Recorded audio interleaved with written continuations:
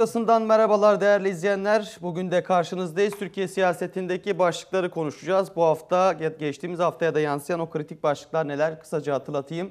Ee, bugün aslında sıcak bir gelişmeyle başlayacağız. Bugün yaşanan e, Meral Akşener'in, İyi Parti Genel Başkanı Meral Akşener'in bir vatandaşla, engelli bir vatandaşla yaşadığı diyalog tepki çekti. Sosyal medyada da gündem oldu. Birazdan hem o görüntüleri hem daha önce Akşener'in bu konudaki sicili de kabarık bir isim. Bu konudaki diğer videoları da gündeme getireceğiz. Tabii yine Akşener'le ilgili bugün MHP Genel Başkanı Devlet Bahçeli'nin bir açıklaması vardı. Hem İyi Parti hem de CHP'ye ABD Büyükelçisi Satterfield'ın veda ziyaretleri üzerinden tepki gösterdi. Bu görüşmeler de gündem oldu. Neler konuşuldu Akşener'in, e, Akşener ve Kılıçdaroğlu'nun Satterfield görüşmesinde onu konuşacağız.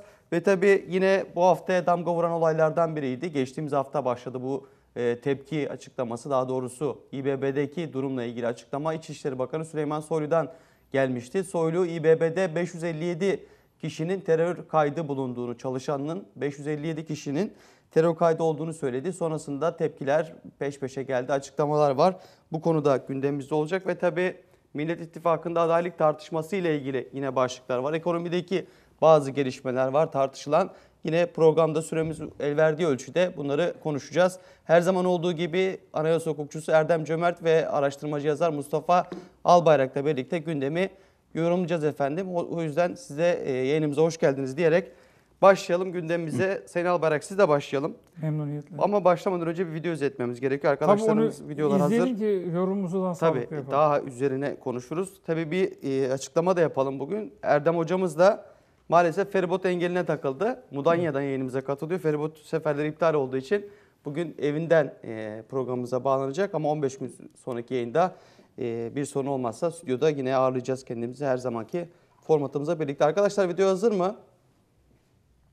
Evet hazır. Şimdi önce o videoyu ekrana getirelim sonrasında üzerine konuşacağız. Okudunuz mu? Ha, şimdi tamam okudum okudum okudum. Ha, tamam. tamam. Tamam. Ben yüzde seksen engelli bir vatandaşım. Ben mesela 650 milyon aylık engelli maaş alıyorum. 650 milyon maaşına Allah'ıma binlerce şükürler olsun geçinip gidiyoruz. Bu askerlerimize bütün kurşun sıkan, askerlerimize müdahale eden, askerlerimize kurşun sıkan bir askerlerle yürüyorsunuz ya. O bizi çok üzüyor. Bu gerçekten bizi çok üzüyor. Bu yolda yürümeseniz de gerçekten sade ve öz bir dimdik tertemiz bir yolda yürüseniz bu daha sizin için daha iyi olmaz mı? Öncelikle 650 lirayla Ha. harika bir hayat yaşıyorsun. Allah'a şükürler kadar olsun. güzel. Devletimiz Bak harika, her şeyi harika. yap. Sen buna devam et. Harika. Ha. Çok iyi. Çok iyi. Çok iyi. Hadi bakalım. Nasıl bir tepkidir? Bu nasıl bir tavırdır? Yani vatandaşla mı konu vatandaşla konuşurken bir siyasetçi hiçbir saygınlığı olmaz mı? Birkaç bir şey söyleyeyim ben. Sonrasında size vereceğim sözü Sayın Albayrak. Daha önce de birçok böyle tartışılan görüntüler olmuş. Hatta onları da izleyelim şimdi hazırsa. Diğer görüntüleri de hakkımı helal etmiyorum da demişti. Yani büyük e, tepki çeken açıklamalar da vardı Sayın Akşener'in. Açıksa, e, hazırsa arkadaşlar o görüntüyü de getirin şimdi ekranlarınıza. Ama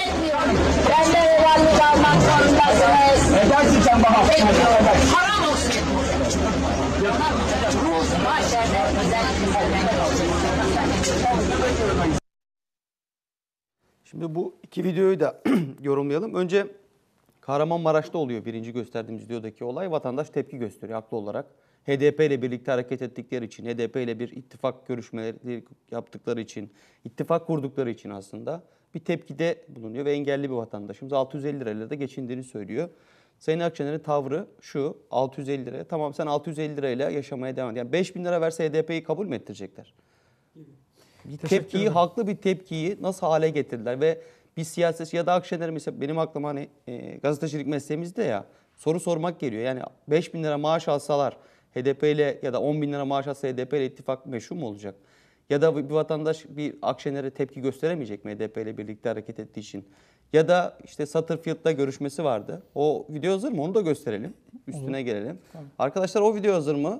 Akşener'in Satterfield görüşmesi. Onu da getirelim ekranlara.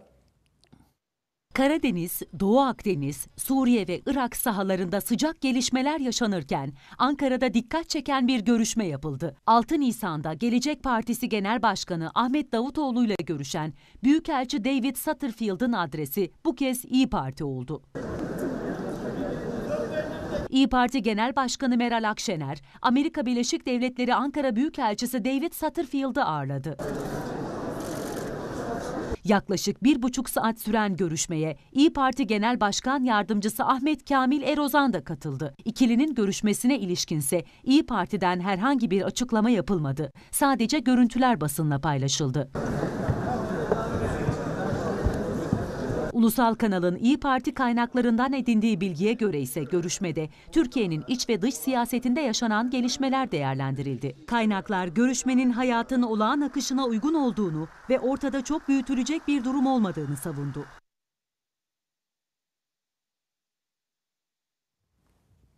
Evet aynı tarafta durunca demek bir tepki gösterilmiyor. Aynı tarafta olduklarınızda. Karşı tarafta gördüklerine tepki gösteriyor Sayın Akşener. Bir de vatandaş yani bir e, İyi Parti Genel Başkanı'nın AK Partili olsa bile yani vatandaş herhalde AK Partili olduğunu düşündüğü için kendi haline bırakıyor. 650 lirayla sen yaşamaya devam et diyor. AK Partili olsa bile İyi Parti Genel Başkanı'nın AK Partili vatandaşa da hizmet etmek gibi bir sorumluluğu, bir görevi, bir siyaset anlayışı olmamaz, olmaz mı yani olmamalı mı? Sizden dinleyelim. Teşekkür ederim Sayın Adalı. Ee, tüm izleyenlerimizi, Ulusal Kanal seyircilerine ve Ulusal Radyo dinleyenlerini saygıyla selamlıyorum. Ee, Erdem Hocama geçmiş olsun diyoruz. Hava muhalefeti sebebiyle e, Mudanya Teşekkür ederim. İstanbul feribotları Mudanya yeni kapı çalışmadığı için e, bugün teknolojinin nimetinden yararlanacağız. Kendisini e, Evet. Skype'dan misafir etmiş Evet, aramızda ben aramızda olarak kabul ediyorum. Tabii zaten aramızda. Stüdyoda şu an.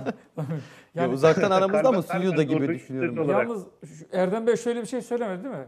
Beni görmek demek bizatihi ulusal kanal stüdyolarında yüzümü görmek demek değil. Benim fikirlerimiz onun üzerinden alabilir. anlıyorsanız diyordur. Evet. evet. Ee, bu girizgahla. Ee, şimdi evet Sayın Akşener'in bir talihsiz e, seçmen- Talihsiz mi? Ta- bilerek mi? Ee, şimdi zaman, Ben bilerek diyorum. Bakın Meral Akşener bu zaten. Yani Sayın Akşener diyelim bir genel başkandır. Halkımızdan yüzde on da olsa, yüzde beş de olsa bir oy almıştır. Ee, ama kendisi bu zaten. Yani Meral Hanım'dan başka bir şey beklememiz e, ona bir haksızlık olacağı Eşyanın kanaatindeyim. tabiatına aykırı bu arada Tabii. çok. Şimdi e, bir defa ben bir önceki videodan yani hakkımı helal etmiyorum dediğim. Haram olsun diyor. Haram Helal olsun etmiyorum diyor. geçin. Bir Haram defa- olsun diyor. Ee, Deniz Bey yani az çok bu memlekette yaşıyoruz. Bir İslam örf ve ananelerine sahibiz. Helallik, haramlık da e, e, İslam literatüründe, İslam istilahında olan bir e, kavramdır, kavramlardır. Şimdi bir insanın diğer bir insana hakkını helal veya haram edebilmesi için bir hakkının olması lazım. Yani nedir? Deniz Bey bana bir çay ısmarladı. Deniz Bey'e ben burada bir işte hatalı bir şey yaparsam, ona haksızlık yaparsam der ki ya içtiğin çaydan utan Mustafa abi hakkım haram olsun sana ikram ettiğim çay haram olsun deme hakkın var. Neden? Bana bir bardak çay ikram etmişsin. Şimdi Meral Hanım, Sayın Akşener o vatandaşımıza yani hakkımı haram ediyorum dediği kişiye ne gibi bir hakkı vardır ki o hakkı haram ediyor? Örnek veriyorum. Ee, Bir anne oğluna derse ki sütüm emeğim haram olsun. Mahvoldu o kişi. İslam itikadında annenin oğula veya babanın evladına, kızına neyse hakkını haram etmesi büyük bir yıkımdır, büyük bir felakettir. Neden? Onda hakkı var çünkü. Babalık hakkı, annelik hakkı. Şimdi Sayın Akşener onun anası babası değil. Abisi ablası Eşi, dostu değil. Eşi O- dostu değil. Patronu değil. işçisi değil. Amiri memuru değil. Ne yapmış? Veya Sayın Akşener bu ülkeye ne yapmış? Yani e, bir e, İçişleri Bakanlığı döneminde faili meçhullerin rekor seviyede olduğu bir icraat dönemi var. Genelkurmay'ı da dinlettiğini biliyoruz. Artı Telekulakla. sözde karşı çıktı 28 Şubat'a. Bütün karar... Böcek yerleştir, pardon böcek yerleştirmişti Genelkurmay o dönem. Hatırlarsınız. Evet. Telekulak. Artı bir de junta kanunla- e, kararlarının uygulanacağını merhum gazeteci, e, meşhur televizyoncu e, Mehmet Ali Birant'a diyor ki bunlar hepsi uygulanacak diyor. Aynen buradaki bu üstten tavırcı, kibirli tavırcı, ben merkezli tavırcı orada da siz bir defa e, hakka hukuka ne kadar inanan bir insansınız Sayın Akşener. İkincisi hakkın huku- hukukunuzun tecelli etmediği bir insana haram etme hakkınız yok ki. Size kim veriyor bu hakkı? Bu bir üstten bakıştır. Ee, İslam geleneklerinde de bu çok yanlış bir şeydir. Ömer'in yolu diyor ama Ömer'in yolunu Yani, yani Hazreti Ömer'in yolu Sayın Akşener'e mi kalmış ya? de Hazreti demedi biliyorsunuz değil mi? Ee, tabii Ömer'in de o yolu. var. O da bir saygısızlık var Sınıf yani. arkadaşı gibi anlatıyor. Evet. Yani sanki askerlik arkadaşı gibi, sınıf arkadaşı gibi. Ömer kim ya? Biz bir Ömer biliyoruz. Hazreti Ömer radıyallahu anh. Peki yani bu biraz tepken değil mi? Siz aslında söylüyorsunuz. Sayın Akşener zaten bu diyorsunuz. Yani böyle bir kişilikte işte İyi Parti'nin nasıl kurulduğunu zaten biliyoruz. MHP'yi bölmek için, MHP'yi işte HDP'nin yanına ülkücüleri götürebilmek için kurulmuş bir parti olduğunu Evet. biliyoruz Operasyon Partisi. Ve tepkiler HDP üzerinden geliyor, geliyor haklı olarak vatandaştan. Yani HDP ile yol yürümesine tepki gösteriyor. Ya bir vatandaş Ya haklı seçmenin demokratik Ki tepkisi kaldık- bu ya. Adam ne kadar da kibar bir insan. Gayet beyefendi. Şimdi ona geleceğim. Ben O- şunu düşündüm. İyi küfür etmediler dedim yandakilerden. Daha önce biliyorsunuz İyi Ya Parti dö- dövdürüyorlar. Sövdürüyorlar. Sövdürmenin de hem de en galiz biçiminde yani. Edebe mugayyerden öte yani sinkaflı hiçbir sansüre ve şehit yakınıymış, hastaymış, engelliymiş, seçmenmiş. Yani İyi Parti şunu diyor. yaşlıymış. Ya, Yaşlıymış, gençmiş. Ona da haram olsun diye Biz yaşlılar diyor, işte. Gelirsek diyor sizi diyor ne hastalığınızı tanırız, ne ırzınızı, namusunuzu tanırız, ne hakkınızı, hukukunuzu tanırız. Yani biz size ya, benzetmek gibi olmasın ama belki siz katılmayacaksınız bu şey ama hani iddiaçıların iktidara geldiğinde bir e, devri sabık oluşturup e, salıncak gibi e, şey kurmaları, idam sehpaları kurmaları gibi bir şey kuracak herhalde. İddiatçıları açmayalım. Başka tartışmaya gerek yok. şimdi. Uzakta olsam hemen Mustafa Bey orada iddiaçıları açıyor. Böyle bir ağzının tadıyla tartışıyor. Erdem Bey buyurun sizi dinliyoruz Erdem Bey. Siz nasıl yorumladınız? Yani bu bir değil iki değil. Öyle. Satterfield'da samimi ama vatandaşa gelince tepkili Sayın Akşener. Bence, bence Sayın Akşener o vatandaşı almalı parti akademisi, siyaset bilim akademisi falan varsa orada hoca olarak görevlendirmeli. Çünkü o vatandaşımız özel gereksinimli birey olduğunu da söylüyor. %85 engeli olduğunu da söylüyor kendisinin.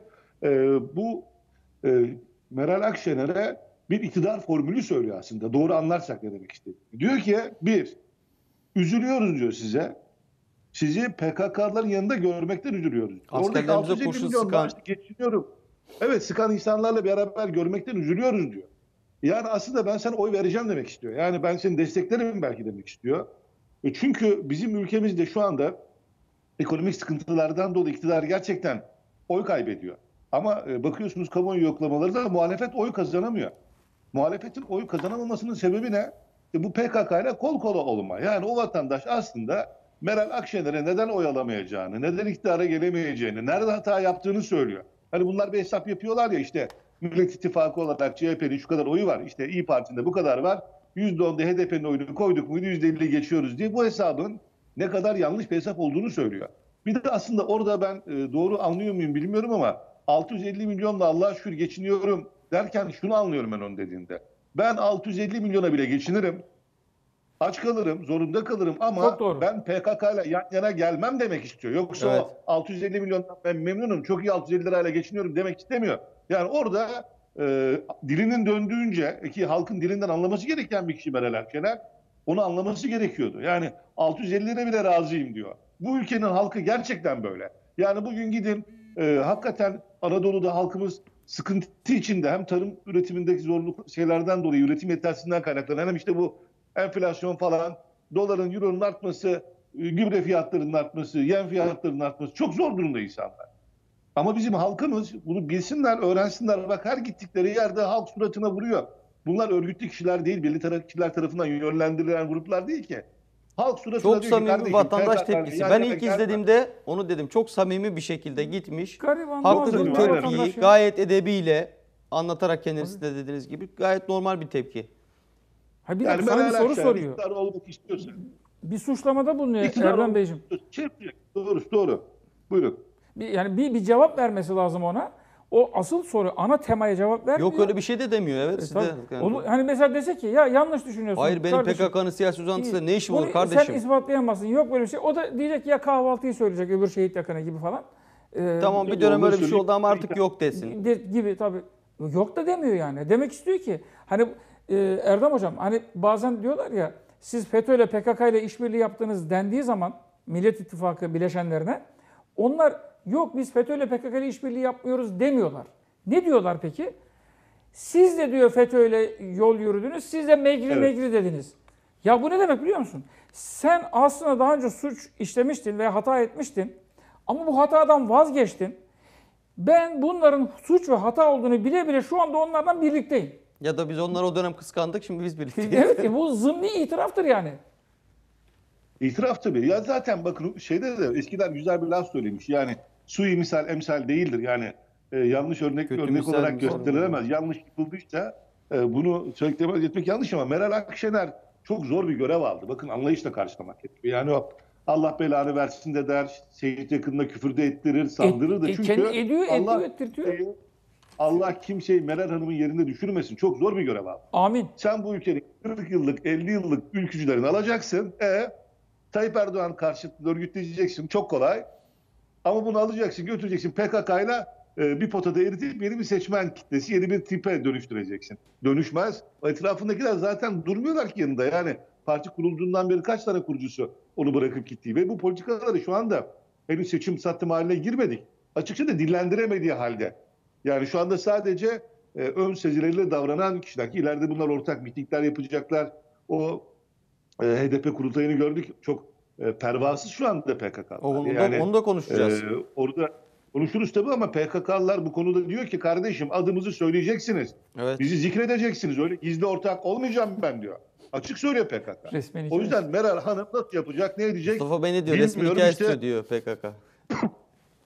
Aynen öyle. O yüzden e, Allah ona e, yardım etsin diyorum. E, Zaten bir proje partisiydi ve o e, Satterfield'da falan da hani görüşmesindeki şeyine bakıyorsunuz.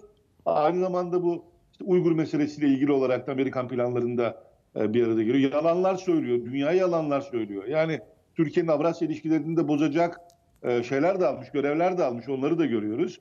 Ve e, halk düşmanı. Ee, özellikle böyle PKK ile yan yana geliyorsun diyenler hani böyle e, yarası olan gocunur derler ya. E, aynen öyle görüyorum ben de. Çünkü yani biri beni sokakta çevirirse sen Erdem PKK ile işbirliği yapıyorsun falan dese ben ona güler geçerim ve e, sinirlenmem yani. Bu e, mümkün değil. Herhangi bir donay, bir herhangi bir şey bulamaz. Ama e, demek ki yaraları var ve bu konuda da muzdaripler. O yüzden de böyle aşırı tepkiler verebiliyor. Çünkü karşında senin yoksul bir vatandaş, engelli bir vatandaş var ve bu senin seçmenin ve sana e, üzülüyorum senin için diyor. Yani üzülü kimin için üzülürsünüz? Sevdiğiniz insanlar yanlış yaptığında e, üzülürsünüz. Aslında o bir potansiyel e, seçmen sizin için. Seçmenini kaybedecek derecede Meral Hanım maalesef e, pervasızlaşmış görülüyor. E, buradan da tabii şey bir sonuç çıkarması lazım iyi Partililerin. Yani biz tamam e, belli bir oy oranına ulaştık. Tayyip Erdoğan karşıtlığı yaptık. işte MHP'yi böldük falan filan ama e, mesele onunla bitmiyor ki %50'yi almak gerekiyor. Bu %50'nin aritmetiğinde acaba PKK ile kol kola olmak bize ne getirecek, ne götürecek diye bir siyasi parti olarak bunu e, hesaplamaları, Sayın Bahçeli'nin tepkileri için ne söylersiniz? Ee, hem CHP hem İyi Parti'ye Satterfield. Tabii Satterfield veda ziyareti yaptığı isimler arasında İBB Başkanı Ekrem İmamoğlu da var. Bugün Satterfield İmamoğlu'nu ziyaret etti. İmamoğlu da makamında ağırladı. Hatta İmamoğlu Satterfield'le ilgili kendisini çok etkilediğini söyledi. Yani İmamoğlu'nu Satterfield çok etkilemiş. Emekli olsa da olsa da diyor Türkiye ile ilgili o ya da Türkiye ya da bölgeyle ilgili ilgisinden vazgeçmeyeceğini düşünüyoruz gibi bir ifadesi de var. Şimdi Yani şöyle, e, Millet Amerika İttifakı'nda devlet- dikkat çeken temaslar. Tabii. Ama Amerika devleti çok büyük bir devlet. Ee, çok güçlü bir devlet. Ee, dünyayı neredeyse tek başına sömürür durumda neredeyse son Eskiden de ama 20-30 onlar, yıldır da böyle de bir yok ki e, geriliyor ama hala da çok büyük bir devlet. Şimdi bunu şu yüzden söylüyorum.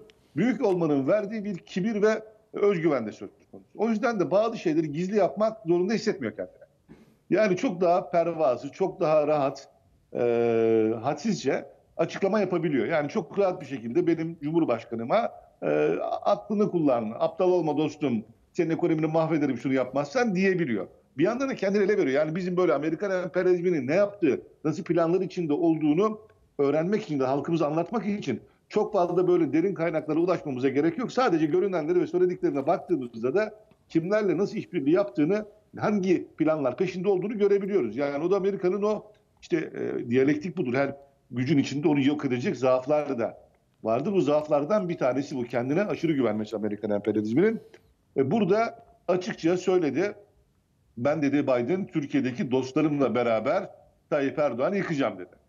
Dostlarım ifadesine dikkat ediyorum. Arkasından geçen bakıyoruz e, bütçe görüşmelerinde Kılıçdaroğlu aynı ifadeyi kullandı. Biz dedi siz yıkacağız dostlarımızla beraber yıkacağız Daha önce dedi. de Yani söylemişti dost dostlarımızla oldular. iktidar olacağız diye. Bu, dostlarımızla iktidar olacak. Bakın halkımızla değil oy, alacağımız oyla demiyor yani. Bunlar açık açık e, birbirleriyle aynı sözcüğü kullanarak da adres tarif ediyorlar. Bunlar dost. Yani bunlar hiç e, ayırmıyorum. Bunlar Rus Büyükelçisini öldürür, Amerikan Büyükelçisinin önünde de böyle selam dururlar, onlara dost olurlar. Çünkü e, amaçları, yaptıkları e, politikalar Amerikan emperyalizmi tarafından zaten planlanmış, önlerine sunulmuş politikalar. Çok da hevesliler. Özellikle şu son para hareketleriyle Amerika'nın ekonomik olarak bize saldırmasından sonra, ekonomik durumun ortaya çıkışından sonra bundan da çok hevesliler. Yani mal bulmuş mağari gibi, gibi oldular. Emin olun dua ediyorlar. Dolar 50 lira olsa, işsizlik 10 kat artsa, insanlar daha perişan olsa diye emin olun dua ediyorlar. Yani bunu bir e, iktidara geleceğiz, biz çözeceğiz falan e, zannediyorlar ama olan ülkemize oluyor. Yani ülkeye e, battığında, bittiğinde, yıkıldığında muhalefetiyle, iktidarıyla beraber yıkılacak. Hani ünlü laf, laf var aynı gemideyiz diye. Bunu görmüyorlar mı bilmiyorum. E, burada e, özellikle şey- şeyin CHP'nin de Amerika'daki temsilcisinin iç- ilişkilerine falan baktınız, yaptığı toplantılara baktığınızda bu Henry Berkey'in Türkiye'deki e, ilişki kurduğu kişilere ya baktığınızda bunların böyle birbirlerine ziyaretlerine falan baktığınızda aslında bir ittifakın oluştuğunu, bu ittifakın işler hale de geldiğini ve bunların da bunu gizli, saklı değil çok böyle e, rahat ve pervasızca e, hareket ettiklerini falan görüyoruz. Yani buradan da halkımıza söylüyoruz. Yani açın televizyonlara bakın kim kimin dostu, kim kimle yan yana ve burada çok basit bir denklem var. Yani kim ki emperyalizmle beraberse o Türkiye düşmanıdır, halk düşmanıdır. Yani bizim bütün çektiğimiz sorunların, sıkıntıların sebebiyle ittifak yapıyordur. O yüzden e, Türk halkı e, öyle ya da böyle e, bu ülkesine, bağımsızlığına her şeyden çok sahip çıkmalıdır. Bir de en çok üzülüyorum yani böyle Atatürkçüyüm deyip de Atatürkçü olmasına rağmen emperyalizmle işbirliği yapılmasına ses çıkarmayanları. Çünkü Atatürkçülük e, tek kelimeyle nedir diye sorsanız kendisi tanımlamış. Bağımsızlık benim karakterimdir demiş. Yani bizim marşımızın adı bile bağımsızlık marşı. Bağımsızlık bizim en asas, en temel şeyimiz. Bizim bağımsızlığımızı yok edecek bir Amerikan emperyalizminin diplomatına bu kadar e, dostum demek, övgü, saygı göstermek ve bunlarla beraber planlar yapmak hangi Atatürkçülüğe sığıyor? Nasıl bir Atatürkçülüktür bu? Sayın Bahçeli Onu diyor ki bu görüşmelerin Türkiye'deki ABD'nin Türkiye'deki iktidar planı ile ilişkili olduğunu görmek lazım diyor. Aynen öyle söylüyorlar zaten. Yani dostlarımızla beraber iktidar olacağız diyor. E bunu Bahçeli biliyor, Tayyip Erdoğan biliyor, siz biz de biliyoruz. Yani bunu sadece kim bilmiyor? E, İnanılmaz derecede e, artık o e, bonzai mi içiyorlar, ne içiyorlar bilmiyorum. Onlar böyle kör gözün parmağına diye gelip Amerikan emperyalizmi gözüne soksa böyle parmağını hala e, görmeyecekler herhalde. Bir tek onlar görmüyor. Ben inanamıyorum. Yani bu ülkede Atatürkçülük rakıya endekslendi. Sanki rakı içiyorsanız böyle layık ortamlarda geziyorsanız saçınıza fön perma yaptırıp dolaşabiliyorsanız işte bu Atatürk'tür. Ee, Sonra Kıbrıs'ı meze yiyip dedi adam. Kıbrıs'ı vermeye kalkıyorlar. Kıbrıs- Meze Ben Kıbrıs'ı ver- veririm dedi ya adam yani inanamıyorum ben bunlara. Yani bu görüşmeler hiç ses yok. Amerika ile planlar yapıp dostlarla ittifak planı hiç ses yok. Antemperyalizm yok. Ama Rum'un yaptığı mezeye e, Kıbrıs'ı vermek var. E, Hadi oradan diyoruz. Yani Ondan- bunlara, e, onun bir farklı versiyonu da yürüyor. daha önce kadın memesine vatanını satıyordu biliyorsunuz Ahmet Altan. Ahmet Altan değil mi? öyle yapıyordu. O da kadın meme- memesine e, veriyordu. Sanki vatan bunların yani. E, bunlar sanki vatana sahip çıkmışlar. Sanki Kıbrıs için hayatı boyunca bir şey yapmış böyle. Hani bunları söylemek hoş şeyler değil ama ben daha 22 yaşında üniversiteyi bitirdiğim sene e, Kıbrıs'a sahip çıktığım için hapis cezası aldım. Bunlar Yani, bunlar e, o şeyler değil de bu rezillikleri göstermek lazım. Özellikle hani Atatürk'ün ismi kullanılarak yapıldığı için bunlar bu isimler Yok. güya Atatürkçü ya. Benim hoşuma giderim. Hani bunu söylediğim için utanıyorum dedim. Yani Kıbrıs için ben gittim 20'li yaşlardayken Türkiye'nin savunması Kıbrıs'tan başlar diye o zaman afişimiz vardı. Her tarafı donattık falan böyle oradan hapis cezası bile aldık. Yani sen ne yaptın Kıbrıs için? Nereye gittin? Ne yap? Orada gidip kumar oynamak dışında ne, ne anlıyorsunuz Kıbrıs'tan? Böyle Kıbrıs'ı hemen böyle verebiliyorsunuz. Anlamış değilim. Atatürkçülük bağımsızlıktır. Bu kadar. Yani Atatürkçülüğün ikinci bir, üçüncü bir anlamı bence yoktur. Bağımsızlığı çıkarırsanız, antemperizmi çıkarırsanız Atatürk'ten Türk'ten geriye bir şey kalmaz. Ee, bunları da e, bu kadar Atatürkçü bir seçmen kitlesini de e, nasıl ikna edecekler emperyalizmle işbirliği yapmaya onu da merakla bekliyorum. Yani e, Meral Akşener'in durumu gibi Allah Kılıçdaroğlu'na da yardım etsin e, diyorum tabii ironik olarak. Zor görevler onları bekliyor diyorsunuz. Yok, Sayın Albayrak hem yapılacak- Satterfield görüşmesi, Bahçeli'nin yorumları, yine İBB Başkanı ile görüşmesi. Yani Amerikan Büyükelçisi veda ziyaretinde niye İstanbul Büyükşehir Belediye Başkanı'na gider ki? Yine 5 milyon dolarlık İBB anlaşmaları olduğunu biliyoruz. Trafik ihalesi vesaire onları biliyorum ama yani düşünün hani ne oldu da Amerikan Büyükelçisi veda ziyaretinde İstanbul Büyükşehir Belediye Başkanı'na da gider? Şimdi Deniz Bey, cephe çok net. Ne zamandan beri biz bunu söylüyoruz sizin programlarınızda? 2020'nin Ocak ayında. e, Daha öncesinden de söylüyorduk biz. Daha, hayır yani şu daha somut Joe Biden'ın demeçlerinden. Yani Joe Rand Biden'ın iktidara gelmesinde raporu var. Yine seçim öncesi Biden'ın New konuşması. York Times'a gittiğindeki e, internette de e, izleyicilerimiz zaten biliyorlar. E, tıkladıklarında Joe Biden e, dostlarımızı iktidara getireceğiz diye yazdıkları zaman New York Times'ı ziyaret ettiğinde ya Washington Post'u ya New York Times, New York Times herhalde. New York Times. Oradaki canlı konuşmasını görecekler. Diyor ki dostlarımız var diyor bizim. Şimdi e, Joe Biden'ın Amerikan Devlet Başkanı'nın dostunun Tayyip Erdoğan olmadığı kesin. Devlet Bahçeli olmadığı da kesin. Onu devirmek istiyor zaten. Söylüyor Zaten ya. diyor, Demokratik e, yollardan. Erdoğan'ı devirmek istiyoruz diyor. Darbeyle deviremedik diyor. Dostlarımızla diyor seçimden devireceğiz diyor. İstanbul devirdiğimiz gibi. Dostları kimler? Bir de İstanbul'u devirdiğimiz gibi. Yani İstanbul'u deviren kişiyi kendi adamı olarak gösteriyor. Şimdi Tayyip Erdoğan 1994 yılında İstanbul'a belediye başkanı olduğunda herhangi bir dünyada devlet başkanı çıkıp ya işte e, biz İstanbul'u aldık. aldık veya işte şunları devirdik gibi. İstanbul'da kazandığımız gibi. Kazan- Böyle bir şey söyledi mi? Yok. Peki e, neden Amerikalılar seviniyor Millet İttifakı'nın adayı Sayın İmamoğlu İstanbul'u kazandığında? Neden Yunan gazeteleri bayram yapıyor? İstanbul Fatihi olarak Rumlar adına asimetrik Fatih.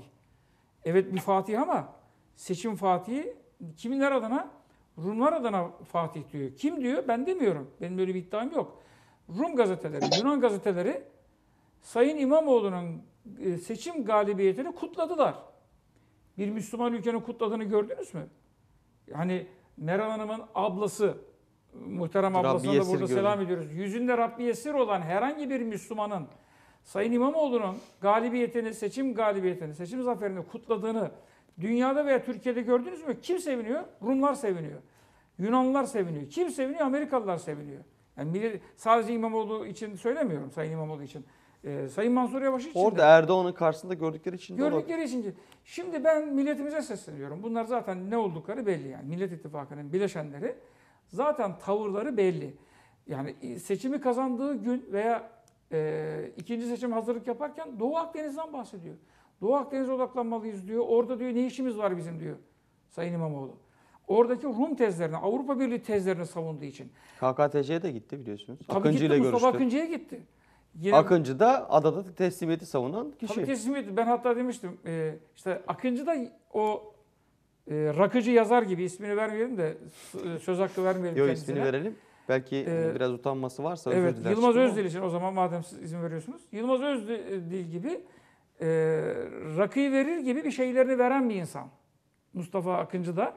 E, Kıbrıs'ı da verir. Ben hani burada şimdi dilendirmek istemiyorum size. lütfen. Onu söylemeyelim. Reklam Saygı ve edep. Yani Sınırları olsun kendince kutsal sayılan her şeyi Rumlara ve Avrupa Birliği tezlerine verebilen bir zihniyettir bunlar. Sen rakı sofrasında neyi veriyorsun ya? Sen kendince kutsal olan şeyleri veya kendine ait Bir şeyleri de diyor ki şu ifade de çok çarpıcı yani. O kadar güzel meze yapar ki diyor. Helal hoş olsun Kıbrıs'ı veresin gelir diyor. Ya, Şimdi sen ancak kendine ait olan bir şeyi verirsin. Kıbrıs'ta değil, Kıbrıs şehit kanlarıyla 1571'de Sokullu Mehmet Paşa zamanında Lala Mustafa Paşa komutasındaki donanmamızın Kıbrıs'ı fethetmesiyle kazanılmıştır.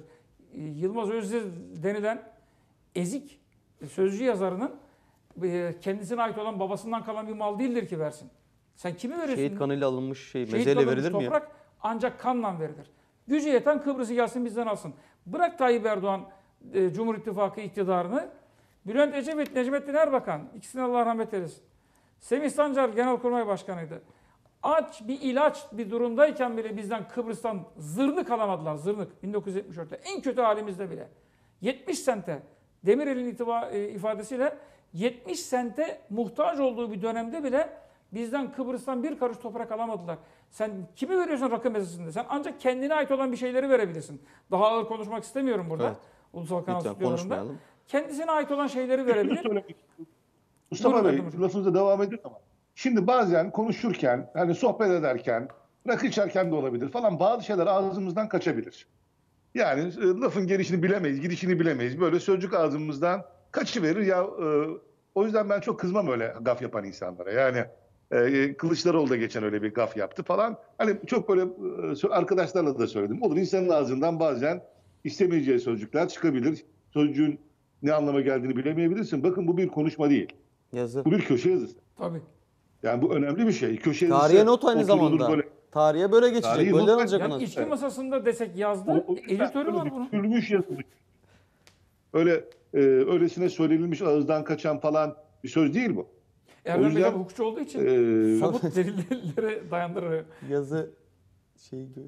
tabii tabii yani yazı yazıyorsunuz. Orada somutlaştırıyorsun. Bir daha okuyorsun. Düzeltme şansınız var. Mutlaka editöre gidiyor. Mutlaka genel yayın yönetmenine İroni gidiyor. yaptığını bakıyorlar. savunanlar da var Erdem Bey. Sizce ironi mi bu? İroni yaptığını Şimdi- savunanlar da var. İroni- İroninin bir dozajı vardır. Bakın hani çok böyle hukuk diline boğmak istemiyorum ben. Öyle konuşmayı sevmem. Öğretmenlikten geldiğim Ama için daha- faydalanıyoruz biz de Mustafa Bey'le. Ama, ama çok şunu söyleyeyim. Mesela hukukta bir ifadenin ne anlama geldiği bilinemiyorsa hakim onu dürüstlük kurallarına göre yorumlar. Yani nedir bu? Dürüst, makul, orta zekalı bir insan bundan ne anlıyorsa o anlaşılmıştır der. Yani o söz eden kişi de sözleşme o madde yazan kişi ben bunu şu sayıkla söyledim. Buradan şunu kastediyordum'a bakmasak buradan sıradan bir insan Zaten okuduğunda şey ne anlıyor? de yok. Ya- Kendisi dedi mi? Hani onu savunanlar var şimdi. Güya Atatürkçü çevreden tırnak içinde. Ağzı yok mu, dili yok mu? Desin ki Benim ben gibi, onu burası kastetmedim, çok onu. Onu, onu savunan kişiler bugün Facebook'ta, sosyal medyada falan da gördüm. İnanılmaz bir şey. Yani abi adam diyor ki ben Apo'nun heykelini e, dikeceğim. Sırtımı YPG yaz. Hayır diyor onlar PKK'lı değil. Ya adam çıkıyor işte Kürdistan Ulusal Marşı'nı okuyor. Te- teröristlere selam söylüyor. Hayır bu bak CHP'li seçmen adını da söyleyeyim. Adam diyor Kıbrıs'ı veririm. Yok öyle demek istemedi böyle demek istedi falan. Yani ne yapılırsa yapılsın, ne denirse denilsin, hiçbir hata kabul etmeyen, ulul emre bağımlı. Yani bunu bir e, sosyolog olarak incelemek lazım. Yani Türkiye'nin muhafazakar kesimi biraz böyleydi. Biat ederdi, çok fazla sorgulamazdı falan diye eleştirirdik yani. Erdem Hocam sözünüzü balla kesin Yani e, şimdi CHP seçmeni e, acı mendileri falan geçtiler yani bu şey bağlı, bağlılık, bağımlılık konusunda. Hiçbir Hayır bu şekilde sözü daha o de- ben- HDP'li bir yazar söyleseydi, Kime? e, Yılmaz Özdel'in söylediği sözü, cümleyi deseydi ki ya rakı sofrasında veya kaçak çay sofrasında kaçak çay içerken işte Diyarbakır'ı Barzani'ye veresim geliyor deseydi. Ne derdik biz o HDP milletvekiline? Birazdan diyeceğiz zaten HDP vekiller de boş durmuyor. Onlar da bir şeyler Hayır, yapıyor. diğer bakın Diyarbakır'ı Barzani'ye verelim veya Diyarbakır'da bağımsız bir devlet ABD'ye verelim. E, benzer bir şey şey söyledi. Gene CHP'li bir İzmir milletvekili mi diyor? Resmi temsil niteliğinde birisiydi. Ya milletvekili ya belediye belediye başkanı değildi. Yok Tunç Soyer değildi. Bir İzmir milletvekili dedi ki İzmir'de de Avrupa Birliği'ne katılın dedi. Evet. E biz 9 Eylül 1922'de kimi denize döktük? Kimi kovduk? İstiklal Savaşı niye yapıldı? İstiklal Marşı niye İstiklal yapıldı? Savaşı Avrupa Birliği üyesiydik ya. Biz Avrupa Birliği üyesi olmayalım da İstiklal Savaşı. Evet. Onun için mi yapılmış? Yani şimdi bakın hede- şimdi şey yapmak istemiyor, ayrımcılık yapmak istemiyorum ama bunu söyleyen bir Kürt vatandaşı olduğu zaman e, gariban doğulu, güneydoğulu bir Ama onlar da söylüyor artık. Tam söylüyor da ona ne diyoruz? Ya Terörist PKK diyoruz. açıkça mecliste çıkıp Öcalan'ın özgürlük istiyor. Serbest Tamam, bırakılmasını ne diyoruz istiyor. ama biz PKK terörist ya diyoruz. Türkiye demokraside artık altın neyini... Şimdi HDP terör partisidir diyoruz değil mi? Evet. Hem fikiriz bunda. Peki aynı şeyi yani İzmir'i Yunan'a verene veya Kıbrıs'ı Rum'a verene niye terörist demiyoruz? Ne farkı var Yılmaz Özdel'in söylediğinin? Ha, bir farkı var. O da e, orantısız güç kullanmayayım. Birisi silahlı bir örgüte sırtını dayayarak söylüyor. Yılmaz Özdel'in şimdilik bir silahlı örgütü yok. O rakı sofrasında kolayca vermeye çalışıyor. İçerek veriyor. İçerek veriyor. Ya, Ya, ama zaman- şöyle bir muhalefet oluştu Türkiye'de. Bakın bunu da görmesi lazım. Cumhurbaşkanı da görmesi lazım hatta. Ee, insanlar AK Parti geldiğinden beri e, yaşam standartlarında özellikle benim gibi insanlar yani böyle şey yapmıyorum. Ben de bunlardan bir tanesiyim. Yaşam standartlarındaki bazı şeylerde gerileme görüyorlar ve bazı şeyler düşmeyi görüyorlar. Yani acaba ben e, layık yaşam tarzını sürdüremeyecek miyim? Bu engellenecek mi her yerde falan diye. Yani e, bir endişe içindeler ve e, öyle bir noktaya Erdem Beyciğim, geldi ki Türkiye'de bazıları. kimin yaşantısına meseleyi- Cumhuriyet dönemini bırakın Osmanlı'da bile karışılmamış ya. İçkisini gene içen içmiş. Yok. Şu an- kendi seküler yaşantısını evinde yaşayan yaşamış. Bu konuya, bu konuya çok girmek istemiyorum İkincisi ben hayır çünkü. vatanını mı satmak gerekiyor ya? Yani Farz evet. edelim ki Yok. Mesela Şunu söyleyeyim. Rakıdan ÖTV kaldırılırsa Tayyip Erdoğan'a verecek insanlar var bu ülkede. o kadar o meseleyi temel mesele yapmış ki e, Tayyip Erdoğan karşıtlığı deyince hatta bir arkadaşıma söylemiştim yani e, İmamoğlu'na neden oy vereceksin diye hiç olmazsa dedi belediye lokallerinde ucuz bira içeriz falan. Onu benim Ee, de arkadaşlarım, benim arkadaşlarımda da söylüyorum. yani. Ciddi söylüyorum. Şimdi rakı içip oy veren insanlar olduğu gibi rakı içmemizi yasaklar veya işte vergi fazla alıyor deyip oy vermeyenler de var. Ama, o da tuhaf. Yani AK- sırf AK Parti bir sosyal partisi. en az bak şöyle bir oy verilir mi? En azından sosyal tesislerde içki içmeyi serbest bıraktı da oy verilir mi ya? Ya tabii o bir kişinin e, seviyesini gösteriyor, kültür seviyesini gösteriyor. Tıpkı şey gibi yani benim yaşam standartında bir değişiklik olur mu? Daha doğrusu şöyle, yaşam tarzıma müdahale olur mu? Yani içki içmem engellenir mi? Neyse biz yine konumuza dönelim. Çok başka yere gittik. Yine biz laiklik tartışmasına gittik Erdem Neredeyse, Hocam. evet. Şimdi bu Millet İttifakı'nda Kılıçdaroğlu'nun da açıklamaları var. HDP kurultayını gireceğiz. Son bölüme biraz onu bıraktık. Onu konuşacağız ama Millet İttifakı şimdi bir adaylık krizi yaşıyordu. İşte Abdullah Gül'ün ismi geçti. Abdullah Gül'ün bu konuda çalışmalar yürüttüğü belirtildi. İşte İmamoğlu öne çıktı. Kılıçdaroğlu ben adayım vesaire derken son açıklama yine Kılıçdaroğlu yaptı dün akşam. Dedi ki yani ittifak kabul ederse benim için sorun yok dedi. Yani hatta onur duyuyorum, onur duyarım dedi bu görevden. Sayın Akşener'in başbakanlık açıklamasıyla ilgili de yakışır dedi. Yani Millet İttifakı'nda yine bir adaylık tartışması ve Kılıçdaroğlu Var, öne geçti. Asıl Meral Hanım'a bu soru sorulması lazım. Yani bir gazetecinin. Siz dün Sayın Kılıçdaroğlu... Meral Hanım o arada buna cevap veremez çünkü vatandaşı azarlıyor arada. Onun daha önemli Ama işleri var. şükredelim o e, engelli vatandaşımız mıydı? Engelli vatandaş. %85 bir de. %85 engelli vatandaşımız şükretsin. Anasına bacısına sövmediler. Bir de e, Gülüyoruz ama o bir kadar de- kötü bir Bir durum de ya. dövmediler. Ya bu, bu ya yani iyi Parti bu. Ya dövüyor ya sövüyor. Ya şehidin bacısına göz dikiyor. Ya engelli e, hasta vatandaşımızdan dalga geçiyor. Sorduğu soruya cevap vermiyor. Seçmeni ciddiye almıyor. Niye, niye dolaşıyorsunuz siz Sayın Akşener? Yani seçmeni niye dolaşıyorsunuz? Eğer onun sorduğu soruya cevap vermeyeceksiniz, onu muhatap almayacaksanız, Bir de vatandaşın söylediğinde hiçbir şey gayet Medeni mantıklı bir tepki. soruyor. De ki, Hayır de, kardeşim, öyle değil de. ya. Evet yanılıyorsun de. Bari Bize bu suç Lütfü Türkkan kadar söyle. Yok öyle bir şey de yani. Ondan sonra küfür etti. küfür edilmesin de. Yani bu var. Bir de Millet İttifakı şimdi yine genişlemesi tartışılıyor. İşte altı parti ortak e, güçlendirilmiş parlamenter sistem metninde anlaştılar. E, Bir iddia da var ortada dolaşıyor. Yine Deva ve Gelecek Partisi'nin ittifaka adaylı Evet. olacağı yönünde. Dün yine CHP'nin Lozer yorumcularından bir tanesi. Lozer.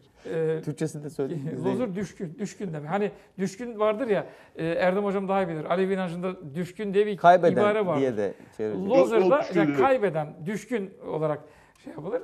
E, yani gazetecilikte o çok kullanılır. Ama da- çok yalanlandı da daha önce o biliyorsunuz. Yani Suriye iddiası da gündeme getirmişti. CHP kendisi yalanladı. Yok öyle şey. Yok ben şey söylüyorum. Bu Gelecek ve Deva partilerinin Millet Yok İttifakı'na yani gireceği... bu bu isim daha önce çok yalanlanmış da bir isim. Yani E, gazeteci tabii o, o utanma arlanma yok. O yüzden ismini bile vermeye gerekmiyorum. Yalnız Sizin de hatta bir mevzunuz var. Tabii, evet. O meşhur RAM tartışması. Ram olacaksınız tartışmasındaki Erdem hocam hatırladınız mı? beni Konuşuyorum, oradan tanıyorum ben. Erdem Bey beni, beni oradan tanımıştı. Evet. Ben yalnız demin o rakıcı yazarla ilgili bir kişinin hakkını vermek istiyorum.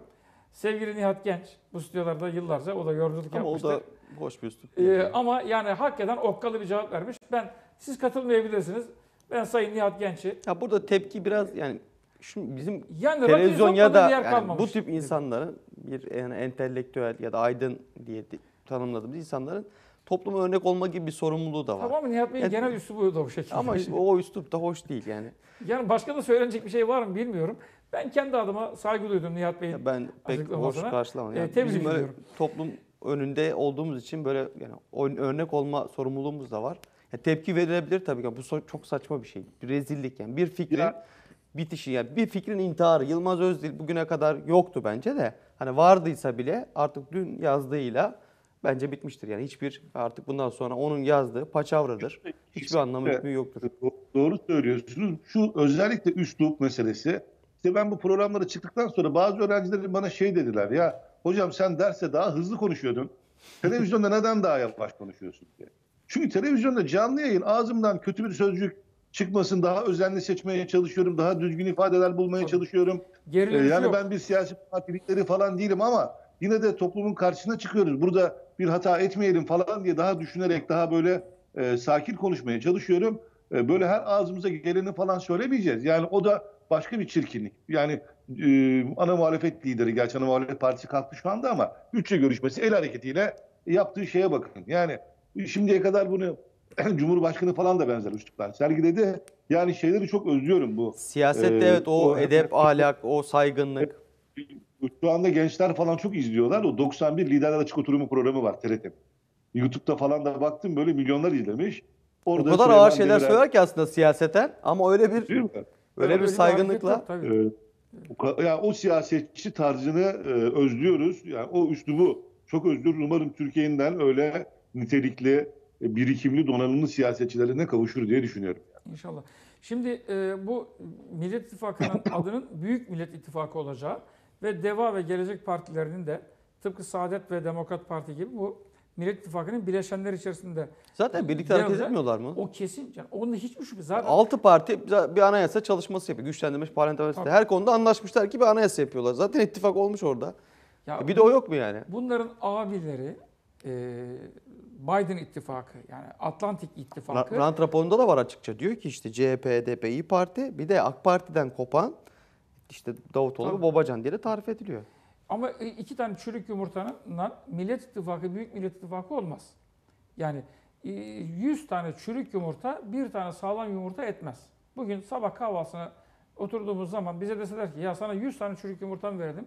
Bir tane sağlam yumurta mı? Hepimiz o bir sağlam yumurtayı tercih ederiz. Bunu daha önceden de yaptılar. 14 tane parti bir araya geldiler. Ekmelettin İhsanoğlu'nu aday gösterdiler.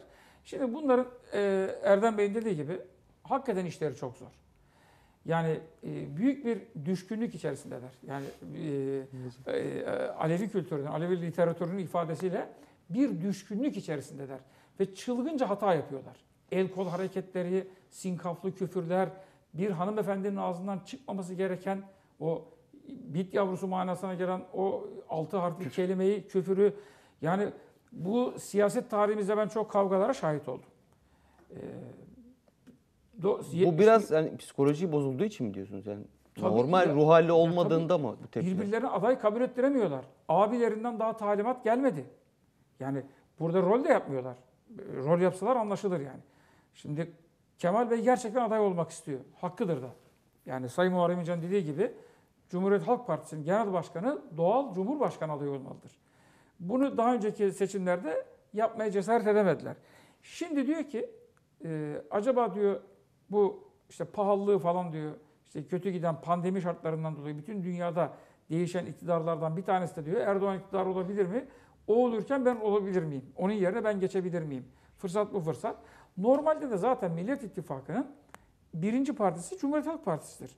Onun başkanından aday olması, diğerlerine işte yardımcılıklar, çeşitli ulufeler vermesi falan e, eşyanın tabiatına uygundur diyeceğim. Ama Sayın Kılıçdaroğlu'nun Cumhurbaşkanı olamayacağını herkes biliyor. Yani iki tane olmak mitingden istiyor. yerle bir eder Sayın Erdoğan onu. Karşısında dünya siyaset tarihine damga vurmuş. Ee, Şu anda faal e, politikacılar içerisinde dünyanın en tecrübeli siyasetçisi var karşısında. İki mitingden yıkar. Sayın Erdoğan'ı zorlayacak olan kimdir? AK Parti'den dökülüp Sayın Erdoğan gibi mütedeyyin halka şirin gözüken Daha tecrübeli siyasetçiler var ya. daha Daha tecrübeli siyasetçiler var. Örneğin Vatan Partisi. Yani ha Millet ben şey İttifakı olarak, içerisinde. iktidarda olarak söyledim. ya itti, Tabii ki, iktidar ve yoksa Millet evet, İttifakı mevcut- içinde. ben Diğerlerine onu- göre öyle evet. Doğru ben e, şey olarak pa- parti başkanı olarak demiyorum. Yoksa tabii ki Sayın Perinçek olsun. e, Hatta Sayın Bahçeli bile parti başkanı olarak daha kıdemlidir Sayın Erdoğan'dan. E, ama e, iktidarda kalma süreci olarak yani 19 artı işte e, iki bir Anladım. buçuk daha İktidar bir- ve ya, ya da Millet İttifakı'nın içerisindekilere göre. Gibi. E, yo, dünyada da yani seçimde iş başında kalmış. Bunu Sayın Erdoğan da söyledi dünyada. Evet. Yok benim bildiğim yok. Yani e, bakıyorum hani hafızamı zorluyorum. Peki Kılıçdaroğlu olmadı. Ee, Abdullah Gül'ü taban kabul etmeyecek. İmamoğlu'nu Kılıçdaroğlu istemiyor. Yani tuhaf bir durum yok burada. Kim Ya, olacak? Örnek veriyorum. Bir de Özgür Özel'in bir açıklaması var. Millet İttifakı adaylığı ile ilgili. Açıklandığında diyeceksiniz ki 100 yılda tam böyle tam ifadeyi söyleyemeyebilirim ama Yani açıklandığında hiç itiraz, etmeyeceğiniz, gönül rahatlığıyla oy vereceğiniz. Yani Ne zaman Ekmelettin öyle bir İhsan- adayı göstermişler ki? Ekmelettin İhsanoğlu'na da gönül rahatlığıyla oy verdiler de Ekmelettin İhsanoğlu'nun kim olduğunu biliyoruz yani hepimiz de. Burada tıpış gönül, tıpış dedi oy vereceksiniz. Ya gönül rahatlığı kime göre gönül rahat? Yani ABD'ye göre gönül rahatlığı olabilir. Ama kimin gönlü Türk rahat? olur? milletinin gönül rahatlığı içerisindeki e, adayını Millet İttifakı'nın içerisinden çıkacağını ben düşünmüyorum. Yani e, e, malzeme ortada. Baktığınız zaman en makul, Sayın Erdoğan'ı en çok zorlayabilecek olan diyorsunuz.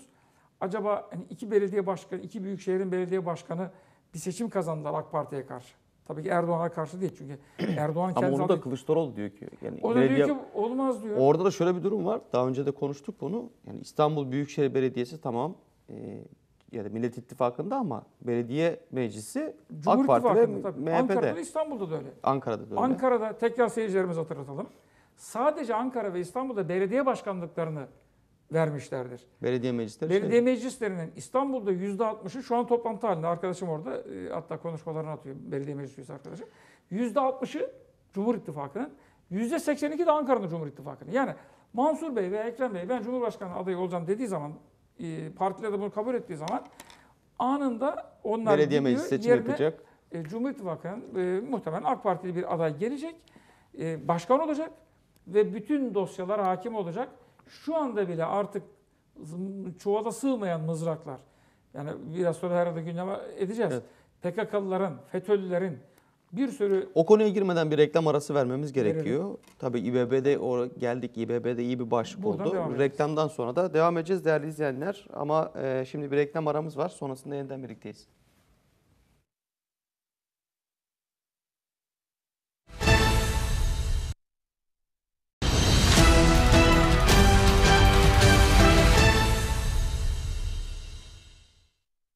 Devam ediyoruz odak noktasına değerli izleyenler. Tabi aradan önce e, İstanbul Büyükşehir Belediyesi'nde terör kaydı bulunan çalışanlar konusuna geçeceğimizi söylemiştik. İçişleri Bakanı Süleyman Soylu'nun açıklaması sonrası başladı bu tartışma. İBB'den yapılan açıklma var böyle kayıtlı olan kişiler yok diye. Ama e, henüz ikna edici, toplum ikna edici bir açıklama gelmedi ki e, listede yayınlandı zaten. İşte 440 küsur kişinin PKK vesaire, DHKPC gibi terör örgütlerine, FETÖ- emniyet sabıka kayıtları bildiğim kadarıyla onlar. Tabii kayıt diyor zaten yani. Tabii. İçişleri Bakanı Soylu da terör örgütlerine kaydı var diyor. Hangi terör örgütleri? PKK var, MLKP var, DHKPC var, MKP var. FETÖ ile yine FETÖ'den daha önce e, işlem görmüş, hakkında işlem yapılmış kişilerin de İBB'de işe alındığını söyledi, açıkladı. Tabii bunlar yine basına da haber oldu.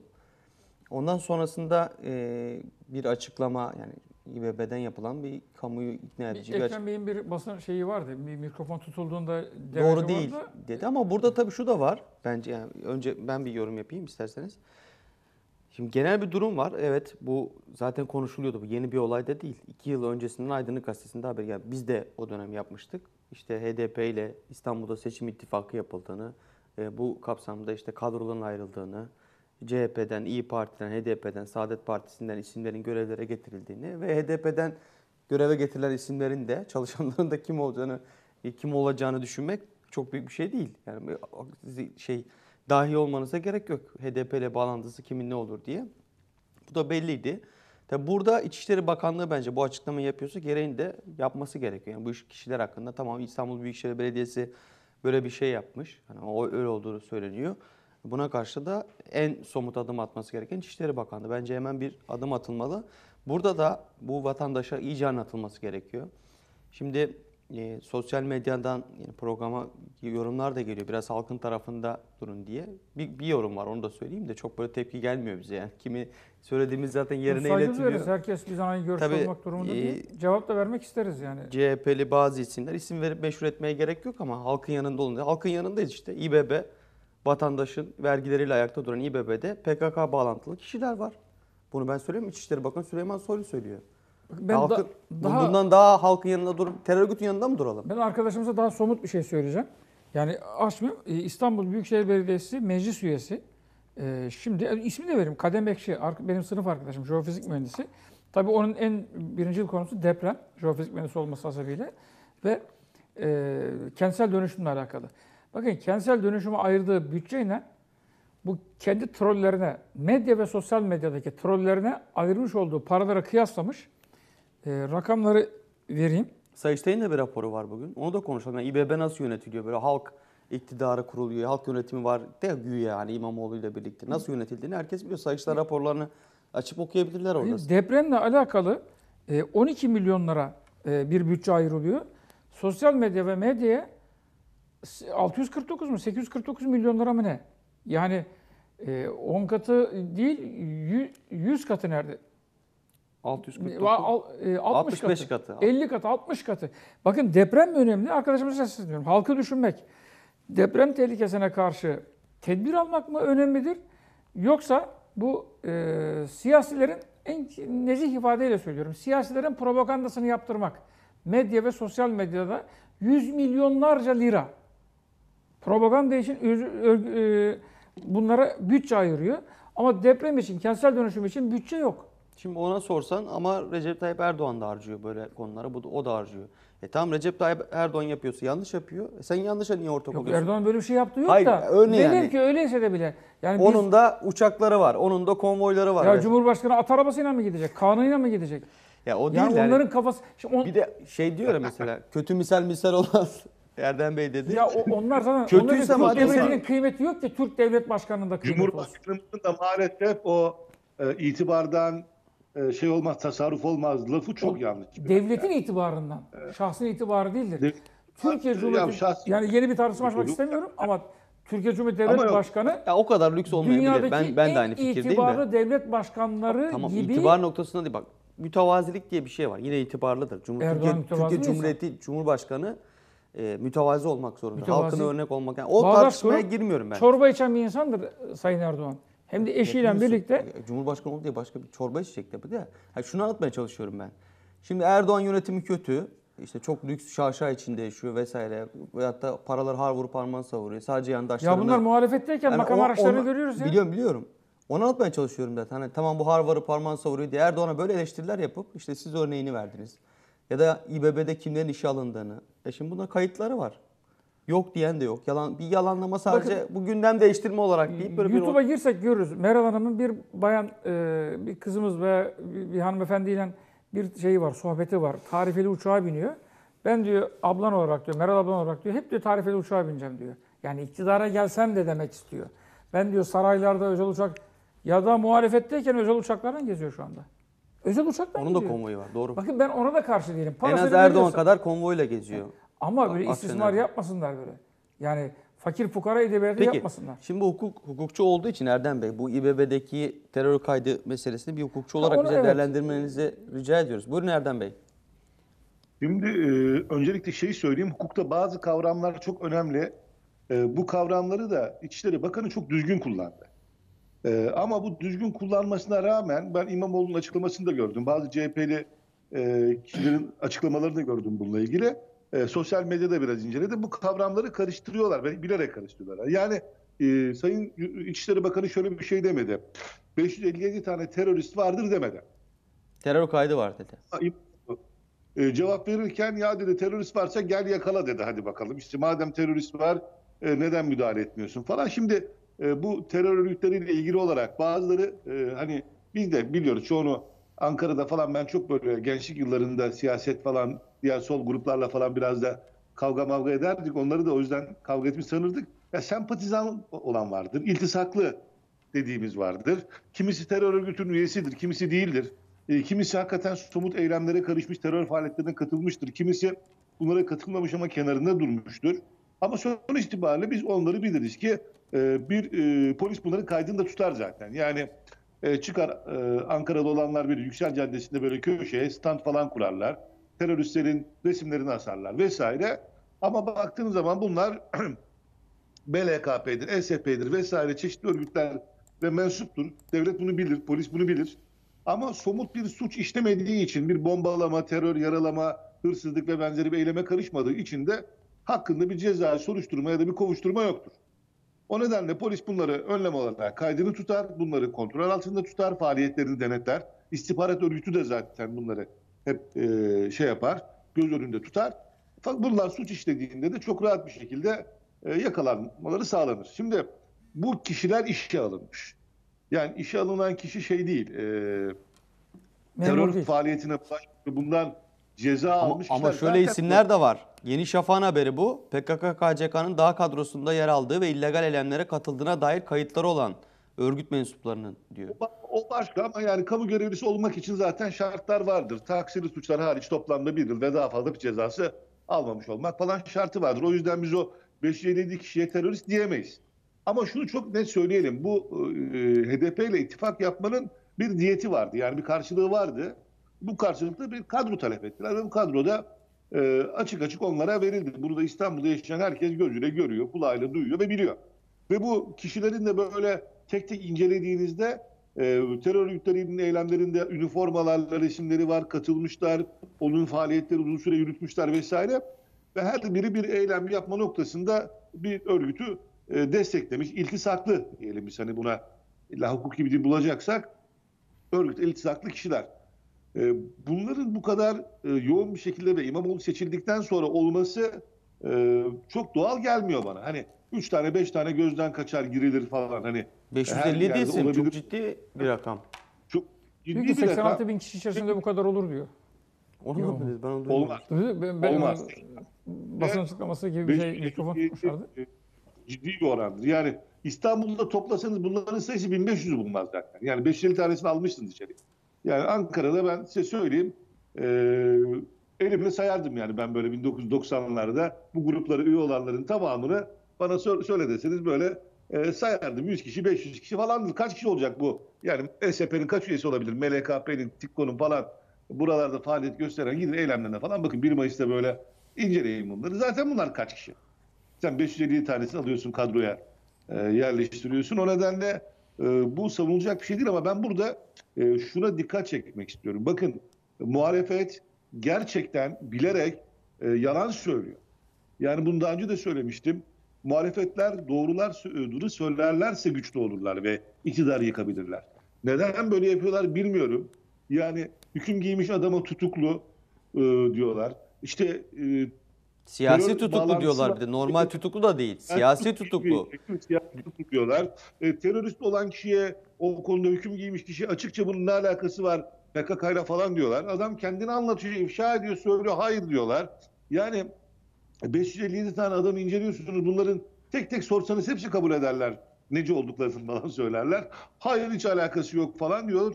Ve bunları işte madem teröriste gelsin müdahale etsin. Hatta bir e, tweet gördüm. O kadar üzüldüm ki böyle böyle muhalefet olmaz, böyle insanlık da olmaz. Yani İçişleri Bakanı bir müjde şeklinde duyurmuş. Demiş ki e, dağdaki terörist sayısı 200'ün altına düştü.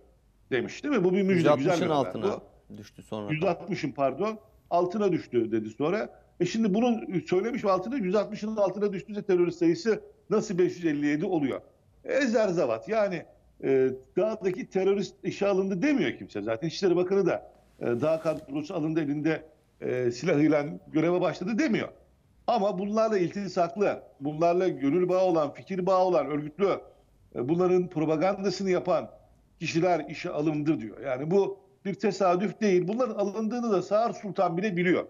Yani maalesef e, CHP'li belediyeler böyle e, ki- yerlerden oy almak için buralarda çeşitli tavizler verirler. Buradan Oranı bile eleman alırlar. Hayır bunu açıkça çıkıp söyleseler Söylenir 35, 25, Hayır, hayır. 15. çıkıp bir de yok yalanlamaya çalışıyor. Milleti yani affedersin salak yerine koymaya çalışıyorlar. Benim bütün tepkim ona. E çıkın kardeşim biz ittifak yaptık deyin kabul edin. Evet tamam HDP bir dönemde PKK'ya katılmış deyin. Bir zaman bunlarla e, bugün demokrasi ittifakı kurduk. Dostlarımız deyin. Yani niye bir de reddetme ya da niye bir Buradan falan da bunu söylüyor. Yani siz diyor bizle ittifak yapıyorsunuz.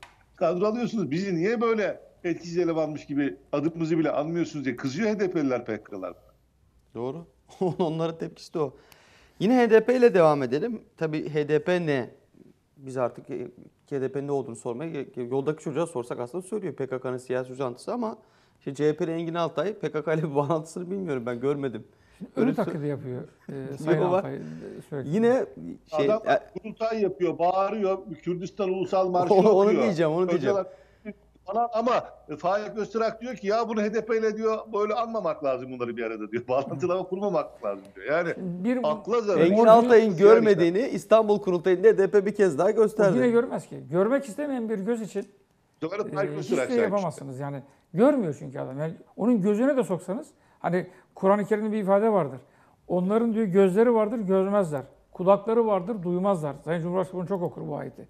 İşte e, devamı da var da onu söylemeyeyim. Biraz farklı bir şey. E, bu adam görmek istemiyor ya. Şimdi ben diyorum ki Deniz'ciğim biz burada iki kişiyiz diyorum. Skype'dan diyorum e, Erdem Bey yok bugün diyorum burada diyorum. E, Skype var diyorsunuz yok diyorum ya. O görüntüdeki diyorum Erdem Bey değil diyorum. O duvar var diyorum. Durum aslında öyle komik Öyle tabii. biliyoruz ama Evet. her şey ortada açık ki HDP de reddetmiyor işin tuhafı. Evet. e, Kurultaylarında adamlar çıkıp PKK marşı okuyorlar. Öcalan'a özgürlük istiyorlar. Önderimiz, liderimiz diyorlar. İşte hapisteki adam Erdem Bey hatırlattı. Heykelini dikeceğiz diyor. Ona siyasi, üstelik hükümlü, yani terörden hüküm giymiş bir isim Demirtaş. Onu siyasi tutuklu oldu. Hatta Kılıçdaroğlu dedi ki Sayın Kılıçdaroğlu. E, Selahattin Demirtaş neden hapiste dedi? Ne suçu var ki dedi. Ya terörden giy, hüküm giymiş adam. Hüküm giy, tabii. Anlatamıyorsunuz yani. Biri diyor ki iddianame düzenlenmiş. Ya ne iddianame düzenlenecek? İddianame düzenlenmiş. Ee, 4 hüküm yıl 6 ay verilmiş. mı? 4 yıl 6 ay mı? 4 yıl 3 ay mı ne? Hüküm giydi yani. İst, şey, istinaf veya e, o- yani temiz onaylamış. Bitmiş. Diğerleri devam ediyor. Daha 53 kişinin ve 37 Sonra kişinin çıkıp Sayın öldürülmesi- Kılıçdaroğlu diyor ki Selahattin Demirtaş neden hapiste? Ya bunu sormak Ya e, kendisi, ki, kendi kitlesine yanlış hakarettir. Erdem Bey Evet. duyamadık. Ya bazen öyle söylüyorlar ki Deniz Bey. Ben böyle açıp tekrar bakmak zorunda kalıyorum böyle. Acaba, Ya acaba ne? ben mi yanlış? O kadar bir de inançla söylüyorlar değil mi ki? Biz mi yanlış yapıyoruz? Ya koskoca bir siyasi parti genel başkanısın. Çok basit bilinen şeyleri nasıl bu kadar pervasızca yalan söyleyebilirsin? Mesela Kavala Yani bu için deseler yalan söyleme üzerine bir yutulur tarafı var. Yani Kavala'nın e, Hüküm giymedi şu hüküm an. giymedi daha. Yani bunun için ya bu kadar Ama Kavala'nın da yaptıkları... Gürültülü bir yanı yok. Orada da diyorlar ki gezi olaylarını desteklediği için e, hakkında soruşturma var diyorlar. Adamın hakkında casusluk suçlaması var. Tabii. 15 Siyasi Temmuz ve askeri... Ama hüküm yok daha Erdem Hocam. Hani daha hüküm verilmedi. suçlamayı söylüyorum. Suçlamayı da yalan söylüyorlar. Yani casusluk suçlamasıyla bu adam yargılanıyor. Yoksa gezi eylemlerine katılmakla falan suçlanmıyor. Yok canım, zaman- da ben de suçlanırdım yani. Binlerce kişi katıldı. Ben de E, katılıyorum. tabii ki Erdem Hocam varken benim söylemem doğru değil ama yanlışım varsa düzeltir Erdem Bey. Ee, bildiğim kadarıyla hüküm verilmeden yani tutuklu yargılama devam etmesinin üç sebebi var diye biliyorum. Kaçma şüphesi. E, bir e, firar etme, kaçma şüphesi. iki delil karartma. Üç kuvvetli suç şüphesi. Şimdi demek ki bunlardan bir tanesi olduğunu inanıyor. Yargının her yaptığı doğrudur demiyorum. Demin Emin Gürses hocam da mesela bu konuda bir e, sistemde bulundu. Ya bu dedi doğru değil dedi. Yani ya hüküm verilsin ya da O konu da tutuksuz tartışılıyor. yani. yargılansın. Bir Ben an önce yargılansın, Bu konuda verilsin. çok bir hukukçu değilim, bir bilgi sahibi değilim. Ama Selahattin Demirtaş'ın ne olduğunu söylemeye yani Sağır Sultan bile biliyor ya. Neden hapiste diyor. Israrla soruyor. Selahattin Demirtaş neden hapiste diyor. Teröre destek verdiği için hapiste. Biz bunu Söylüyoruz. söyleyelim. Bi- Biz de bunu doğru söylüyoruz. Söylemekten Selahattin Demirtaş teröre destek verdiği için azmettiricilikten Türkiye Cumhuriyeti Devleti'ne 6-8 Ekim savaş olaylarında vatandaşı... O, o daha bitmedi. Daha asıl oradan gelecek ceza. Yani normal Yani ne bir- yaptı, nasıl kişilik diye hatırlatalım diyoruz yani. Evet tabii. Ki Selahattin orada da Demirtaş- kuvvetli suç şüphesi var. Ee, Açıklamaları var ya. Tabii. Direnişe, bu şanlı direnişe halkımızı davet ediyoruz Evet. diyor. Attığı tweetler var. Yaptığı açıklamalar var. Orada da her şey ortada. Ama hala Sayın Kılıçdaroğlu çıkıp Selahattin Demirtaş neden hapiste diye sorabiliyor. Ki HDP bu konuda yine hakkını teslim edelim hiç gizlemiyor. Adamlar Ya kurultay HDP yapıyor. gerçekten Türkiye'nin en dürüst partisi ya. Kurultay Her yapıyorlar. konuda bak dürü, şey olarak katilliğinde dürüst. O dürüstlüğünden değil. dürüst. PKK'ya çok böyle şey PKK'nın taşeronu oldukları için Tamam ama patronlarına yani dürüst- patronlarına biat ediyorlar diyelim. Onu dürüstlük değil de. Ama yani takiye yapmıyor. CHP gibi mesela saklamıyor canım açık bizim açık. PKK ile ilgimiz yok demiyor hiçbir HDP'li. Veya işte PKK gayrimeşrudur, PKK terörist HDP'li demiyor. Garap Oylan'ı hatırlıyorum bir röportajda galiba Cüneyt Özdemir'di. Dört defa, beş defa sordu. PKK bir yok. diyemez ya. Şey, e, KRT'de sormuştu. Evet hatırlıyorum o şeyi. Veya YouTube şeyi de olabilir. Evet. YouTube röportajı. Dört kere, beş Cüneyt- kere şu an Söyleyemez. Hiçbir gelmedi. HDP'li Terör PKK örgütü mü diye söylemedi. Diyemez. Diyemez ya. Zafer Arapgir'i sormuştu. Dört defa, beş defa sordu. Dedi PKK terör örgütü mü? Hatta Pervin Buldan'a da soruldu. Hatta Selahattin Demirtaş dedi ki biz PKK'yı silahlı bir halk hareketi olarak görüyoruz dedi. Terör Evet. örgütü değil dedi. Her zaman onu söylüyorlar. Sürekli onu söyledi. Hatta dedi HDP Öcalan'ın projesi dedi. Heykelini dikeceğiz dedi. Kurultay yaptılar. PKK marşlarını hep birazdan okudular. Tabi burada e, Anayasa Mahkemesi'ne de çuvaldızı batır. Hatta Anayasa Mahkemesi'nin başkanına da çuvaldızı batırmak gerekiyor. Bütün herkesin gördüğünü, HDP'nin de ilan ettiğini, mecliste de siyahlardan rahatsızlar bu ara HDP milletvekilleri. Çünkü siyah operasyonlarında Hevallerini terörist imha hale getiriliyor. HDP'nin böyle bangır bangır söylediğini, gizlemediğini, açık açık kurultaylarda, maçlarda bir tek Anayasa Mahkemesi'nin başkanı duymuyor. Niyeyse? Onlar hala her şeyi böyle hukuka, hukuk e, üzerinden aklamaya çalışıp HDP'yi hala siyasette tutmaya çalışıyor. Tabii Ama CHP aklayamazlar. Mızrak çuvala girmiyor Deniz Bey. Olmuyor bu kadar. Yani şimdi e, şeyden örnek vereyim mesela. ama AK Parti süre nasıl uzatılıyor o zaman Erdem Bey? Hukukçusunuz siz de bir de anayasa Ona- hukukçusunuz. sığmıyor. Şimdi bakın AK Parti kapatma e, davasıyla ilgili e, benim yüksek lisans tezimdi o. E, 68 kişinin 72 çeşit suçtan siyaset yasağı isteniyordu. 2003'ten 2007'ye kadar olan olayları sıralamıştı Abdurrahman Yalçınkaya. Ama şey hatırlıyorum ben. Bu kapatma davası açıldıktan sonra e, Adalet ve Kalkınma Partisi yöneticileri hem bu suç işlediği iddia edilen kişileri partiden çıkardılar. Evet. Ee, hem de e, reddettiler. Yani olabildiği kadar parti kapatılmasın diye e, mücadele ettiler. Yani e, yaptıkları savunma da o yöndeydi. Şimdi e, büyük ihtimalle şunu iyi biliyordu AK Parti'nin o dönemdeki hukukçuları. 2001 yılında anayasamıza eklenen bir hüküm var. Bunu daha önce de programlarda da söylemiştim. Parti kapatmayı zorlaştırdı anayasa 2001 değişiklikle beraber. Odak haline gelme şartı getirdi. Odak haline gelmek için de birçok şartın bir arada gelmesi gerekiyor. Bunlar, bunlardan birincisi partinin üyeleri, yetkili mercileri ve yöneticileri kanunun suç saydığı fiilleri yoğun bir şekilde bilerek, ısrarla, süreklilikle ve kararlılıkla işleyecekler. Hepsi var. Yetmeli parti komplesi. Ya odaktan daha a- ileri bir ifade yok mu? Bence odağa geçtiler. Geçti Bizzat geçti. PKK. Sanki puzzle'ı tamamlar gibi HDP şu anda hani ne eksik kalmıştı? Kongre eksik kaldı. Onu da tamamlayalım. Ne eksik kaldı? Başkan bunu demedi de. Onu da yapalım. Ya ko- kongre görüntülerini izledim. Benim tüylerim ürperdi. İstanbul'da Ee, bir de. Eskiden şey olurdu. Ha- HADEP kongresinde hatırlayın 96'da Türk bayrağı indirildiğinde onu bir grup böyle gelip yaptı diye HADEP kendini savunmuştu. Yani bizim parti olarak genel bir de böyle bir tavrımız yok. Ama içimizde bazen şımarık çocuklar var falan. Bu kurultayın görüntülerini izlediğimde kanım dondu. Salon Gövde kaç gösterisi kişiydi? yapıyor ya. O salon sanırım 5000 kişilik falan vardı en az ya da daha fazladır. Küçükçekmece Bilmiyorum. Belediyesi'nin Ama salonu. Evet. Binlerce kişi ayağa kalkmış vaziyette ve çok disiplinli bir şekilde El Ragıp Marşı'nı okudular. O marşta ne söylüyor sözleri, e, Türkçesi? Ey düşman hep vardır Kürt milleti. Kanla tarih yazarız. Kürt çocukları yiğitler gibi baş kaldırıyor. Şimdi yani bu marşın sözlerini oradaki herkesin de Kürtçe bildiğini düşünüyorum. Ee, bağıra bağıra candan böyle 60 yaşında e, yaşlı teyzesinden 70 teyzesinden 5 yaşında çocuğuna kadar bir araya gelip örgütlü bir şekilde hem bu Öcalan sloganlarını atıyorlar bir yandan da bir e, cezaevinde bir e, terörist diyorum ona çünkü hüküm giymiş hakkında e, öldü. Onu anlıyorlar. İşte e, bildiğin PKK terör örgütünün Kandil'e selam yolluyorlar. E, Kandil'e selam yolluyor. Ne varsa bunları söylüyorlar. Bu konuda da bunu da böyle 3-5 kişiyle hani araya birkaç kişi sokalım da bağırttıralım falan şeklinde değil örgütlü olarak tümden beraber yapıyorlar. Ve Pervin Buldan e, ne diyor konuşmasında orada? Bugün İdlib'de bataklığa gömülen Türkiye'nin tek çıkış yolu Dolmabahçe mütabakatına geri dönmektir diyor. Yani uluslararası e, konjonktürde de çok güzel bir mesaj veriyor. Diyor ki ey Cumhurbaşkanı, ey Tayyip Erdoğan e, vazgeç, e, geri dön. Hani onların e, dedik ya biz Tayyip Erdoğan e, Türkiye cephesine e, geldi ve orada konumlandı. Bunu da görüyorlar yeniden Türkiye cephesine.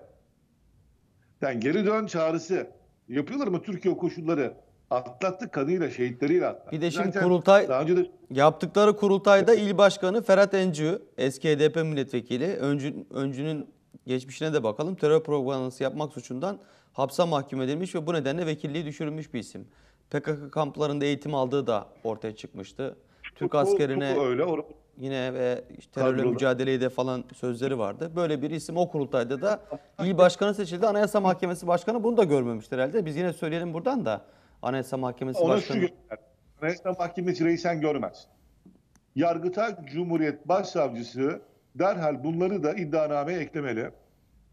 Ve Anayasa Mahkemesi burada her geçirdiği sürenin hukuk adına ya da usul adına e, verilen her türlü sürenin Türk devleti adına bir taviz olduğunu da görmeli ve çok net de söylüyorum. e, bir müddet sonra eğer bu suçlar işlenmeye böyle devam edecek ve PKK burada e, partim kapatılmıyor diye güç kazanacak olursa bunun siyasi sorumluluğu onların üzerindedir. Bunun hesabını veremezler. Onlar da yargılanırlar. Yani şu anda devlet ordusuyla, polisiyle, jandarmasıyla Şehit bir irade verildi ya. koymuş. halk- Şehit veriyoruz ya her gün terörle mücadelede. Bey kendeye gömmüş. Bitirmiş bunu. Gidin o bölgeye halk memnun. insanlar memnun ama siz HDP'ye bu kadar taviz verirseniz ve HDP de böyle kör gözün parmağına der gibi Kürdistan Ulusal Marşı'nı okur. Başkan Apo bilmem ne Reber falan der. Ve siz hala bunlara rağmen devletin en yüksek mahkemesi olarak aciz içinde olduğunuzu hissettirirseniz bu sefer düşmanı size düşman dedikleri için söylüyorum. O düşmanı kuvvetlendirir onlara e, cesaret Ama Sayın verirsiniz. Perinçek fermanlı terörist olur. e, ibaresini kullanıyor. Yani artık devletten izin almış, ferman almış, akredite edilmiş bir terör partisinden karşı karşıya kalacak. Hayır ben şunu da anlamıyorum. Anayasa- Anayasa Mahkemesi bu süreci niye uzatıyor? Ha, bütün kurultayların tamamlamalarını Belki bekliyor. seçime- Bütün illerde hani HDP'liler çıksın, Öcalan'a selam, sevgi göndersin, PKK marşları okusun diye mi E bekliyorlar? tabi propaganda oluyor. Aslında hani ben şunu diyeceğim belki mazeret. ya. Anayasa Mahkemesi Başkanı o kurultayı izlemiş midir acaba? Keşke Anayasa Mahkemesi bir toplantısını HDP kurultayında yapsa. Mesela onlara özel bir e, loca gibi bir şey verilseydi. Siz bu kurultayı canlı yerinde seyredin. Çünkü hakimin yerinde inceleme şeyi vardır biliyorsunuz. Evet. Hakimler gelir yerinde inceleme yaparlar. Bilir. Bütün kurultayın kaydı var açıp izleyebilirler canım. Ay, orada sıcağı sıcağına diyorum. Yani herhalde daha iyi karar verirlerdi. Anayasa Mahkemesi Başkanı'na özel bir ihtima- ihtimam göstereceklerine eminim ben. Şimdi avukatların anlattığı çok meşhur bir fıkra vardır. Adamın bir tanesi, belki Erdem Hocam biliyordur ama izleyicilerimiz de şey olsun. Ee, cinayet işliyor. Yani öldürüyor. Herkesin gözünün önünde bir kanlı düşmanını öldürüyor. Ondan sonra polisler geliyor. Ondan sonra elinde işte bıçak, tabanca neyse. Bakıyor katil başında. Zaten inkar ettiği de yok. Diyor ki hadi tutuklayacağız seni götüreceğiz diyorlar. Diyor ki avukatını bekliyorum diyor. Diyor avukatın ne diyecek ki diyor bu duruma diyor. Vallahi ben de merak ediyorum ne diyecek diyor. Şimdi ben de merak ediyorum Anayasa Mahkemesi HDP ile ilgili verecek karara başka bir karar veremez. Yani bu iş oyuncak değil. Bu bir milli güvenlik meselesi. Ya terörle mücadele yürütüyorsunuz değil mi? Siyahlar var. İşte teröristleri yok ediyor. Milletvekili çıkıp milletin kürsüsünde ya Büyük Millet Meclisi'ne çıkıp SİHA'ya boşuna para yatırıyor. SİHA işte savaş suçu işliyor ya da yargısız infaz yapıyor. Ya- Yargısız infaz yaptığını söyledikleri gibi terörist ya. SİHA ile vurulmasa onlar saldırı yapıp Mehmetçiği katledecekler. Evet. Mehmetçiği şeyi de Olsun edecekler. canım onun umurunda mı ya? Ya böyle Sezgin bir Tanrıkulu'nun umurunda mı Mehmet bazen olması? tutuluyor. Yani bir demokrasi budalalığı yaşıyor Türkiye'de. Böyle bir demokrasi budalalığı Ya var. böyle bir şey yok. Dünyanın hiçbir yerinde yok. Hiçbir yerinde yok. Yani ben mesela düşünüyorum acaba ABD'de böyle bir konuşma olsa ya da Fransa'da İspanya'da yok zaten olmadığını gördük İspanya'da ETA'ya neler yapıldığını işte Ya Fransa'da bir Charlie Hebdo saldırısı oldu 2015 Charlie Ocağı'nda. evet. Ya 4 sene 5 sene olağanüstü hal gitti ya. Ondan sonra yine kaldırmadılar. Onu daimi biçimde kanunlaştırdılar. Olağanüstü hali İspanya'dakini hatırlatıyoruz mesela İspanya'da örneğinde. Atason örneğini. Destek vermeyi, selam göndermeyi onları geçin sadece kınamadıkları için kapatıldı. Evet. Kınamamak bir suçtur diyor. Evet. Ama bizimkiler selam gönderiyor. Marşını okuyor. Yetmiyor. Millet Meclisi'nde konuşuyor. Milletin Meclisi'nde. Kürdistan diyorlar mecliste yine. PKK marşı mecliste okunuyor. Hadi kurultaylarını yapıyorlar. Öcalan'a, Kandil'e hepsine selam gönderiyorlar. Yine marşlar okunuyor. Yani hala Engin Altay gibi bir Anayasa Mahkemesi Başkanı var. Aynı Engin Altay gibi. O da Görmüyor. bağlantıları görmüyor. İddianame var. Somut delil var. Her gün açıklama yapıyorlar. Erdem Bey aslında bu konuda bizi aydınlatabilir de bilmiyorum vakit Vallahi- kaldı mı? Hani ge- acaba gerçekten yasal Bence süreci, aydınlanmaya da gerek yok artık. süre- süreci yetişmediği için. Yasa- çok, çok net söyledim. Daha önce ulusal kanalda bunun için program yaptık. Ee, böyle bir şey yok. Süre çoktan aşıldı. Yani ek süre zaten verildi. Şimdi sözlü savunma aşamasına geldi. İddianame tamamlandı. Raportör raporunu tamamladı. Yani burada e, artık ek süreler vermenin, yargılamayı geciktirmenin hiçbir şeyi yok. Bir de başka bir şey söyleyeyim. Bakın bu çok önemli. Anayasa Mahkemesi kendi iş tüzüğünü kendi yazan bir mahkemedir. Anayasa Mahkemesi'nin çalışma usulü esaslarıyla ilgili bir tamam bir kanun var ama bu kanun önemli ölçüde sadece çoğunlukla ve toplantı yeter sayısı gibi konuları içerir. Ama Anayasa Mahkemesi'nin hangi iş evleviyetle görüşeceğini, çalışma usulünü nasıl yapacağını Anayasa Mahkemesi'nin kendi iş tüzüğü var. Evet. Ve bu iş tüzüğü derhal değiştirilir. Yani Anayasa Mahkemesi ben HDP'yi kapatacağım derse bir haftada kapatır. Evet. Hiç burada onu zorlayan bir Refah anayasa hükmü kapattılar ya da anayasa Birkaç ay içerisinde refah kapattılar. Bir de mal varlığına tedbir konulması isteniyor. Yargıtay Cumhuriyet Başsavcılığı HDP'nin mal varlığına tedbir konulması istiyor. Yani hazineden yardımlar Evet, vesaire. evet. Onlar da konulmuyor. Yani Onu ilginç bir durum. Bu- e, Burada ben bazen şey yapıyorum. Polyanacılık oynuyorum kendi kendime. Diyorum ki acaba 2023 seçimlerine doğru yani uzatıyorlar ki bir daha toparlanmaya, yeni bir partide örgütlenmeye Ama fırsat kurultay topluyor onlar da Mustafa Bey. Onlar da kurultay ama yapıyor. kapatacak ya. Hani sonucunda kapanacak. Kapatacak. Hadi kapatmadığını düşünelim. Artı şu var. Ben ben artık Anayasa Mahkemesi Başkanı bu konuda somut bir tutum ya da doğru hukuki bir tutum da beklemiyorum. Buradan Bence biz- Anayasa Mahkemesi Başkanı istifa da etmeli. O ayrı bir konu. E çünkü artık tarafsızlığı yitirmiş bir Anayasa Mahkemesi Başkanı var. Biz Millet şu anda İttifakı'na bir seslenişte bulunalım Erdem Hocam. Ve oraya oy vereceklere. Şunu söyleyeyim hani bir e, esnafın dükkanında şeyler vardır.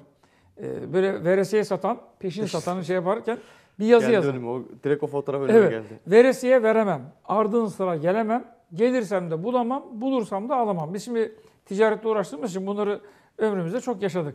Şimdi diyorum ki daha bir aday çıkartmaktan aciz bir ittifakla karşı karşıyayız. Aday çıkartacaklar bir gün. Onu da. ABD, Sayın Bahçeli diyor ki Millet İttifakı'nın adayını ABD belirleyecek. Abi tabii doğru söylüyor Sayın Bahçeli. Çıkarttıkları zaman kazanma şansları... Duymadık, duymadık. Ada, adayları belli belli onların adayları var. Abdullah Gül. Ama diyemiyorlar yani bunu nasıl deriz, nasıl Şey, söyleriz, nasıl yaparız. Abdullah Gül'ü nasıl taban kabul etmez deniliyor ama. Keşke olsa. Ya Ben boş çok konuşup- ben iki kişi çok istiyorum. Bir Abdullah Gül'ü, bir de Kemal Kılıçdaroğlu. İkisi bir olsa. Abdullah Gül'e tabanı ısındırmak için Yine sabah akşam program yapıyorlar. Açın bir izleyin bakayım. Başka hiçbir işe yaramıyor kanallar. Doğru, doğru Gazeteler. söylüyorsun. Şey. Yani CHP medyası, göretleri bu. belediye medyası diyelim. Belediyeden mamalanan medya. Akşama kadar Abdullah Gül'ü meşrulaştırmaya çalışıyor. Anayasa Mahkemesi Başkanı da herhalde o kanalları izliyorsa. Çünkü kanallarda şeyi bulamazsınız. HDP kongresini bulamazsınız, PKK'yı bulamazsınız. PKK'yı destekleyen bir tane HDP'li göremezsiniz. Hep o bonzai e, Yo, HDP'li isimleri kanalları. de ağırlıyorlar o kanallarda Erdem Bey. Yanlışınız var. Şey var. Ağırlıyorlar ama PKK ile bağlantısı o. Mesela Tabii o e, konuya bir çok başefendi- girilmiyor. Şey Sanki HDP'yi bir çiçek böcek bir demokratik parti olarak gö- gösteriyorlar. Muhalif muhalif diyorlar HDP'de. Ya ne muhalif? Şey var ya, Ya IŞİD'e parti Ee, seçim kurdursanız. Şimdi Erdem Hocam IŞİD burada bir parti kursa. Adı IŞİD olmasa da diyelim ki işte Türkiye İslam Devleti Partisi diye bir parti kurulsa. Bu isimde parti kurulması bilmiyorum. Do, e, Ya serbest mi? işte Özgürlükleri Yaşatma Partisi gibi oldu. bir isimden kurdu.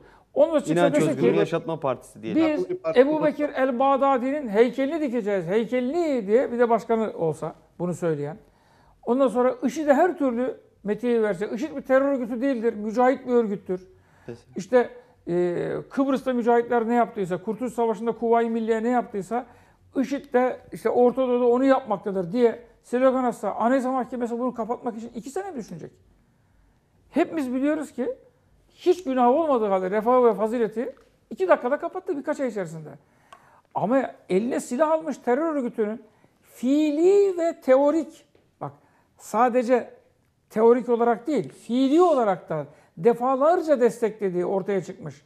Mayın döşenmesine HDP'li belediyeli iş makineleri destek vermiş. Kazmış, bombaları yerleştirmişler. Silahları arabaların bagajlarından çıkmış. Katiller milletvekillerin evlerinden çıkıyor. Daha yeni Süleyman Soylu söyledi Sayın İçişleri Bakanı.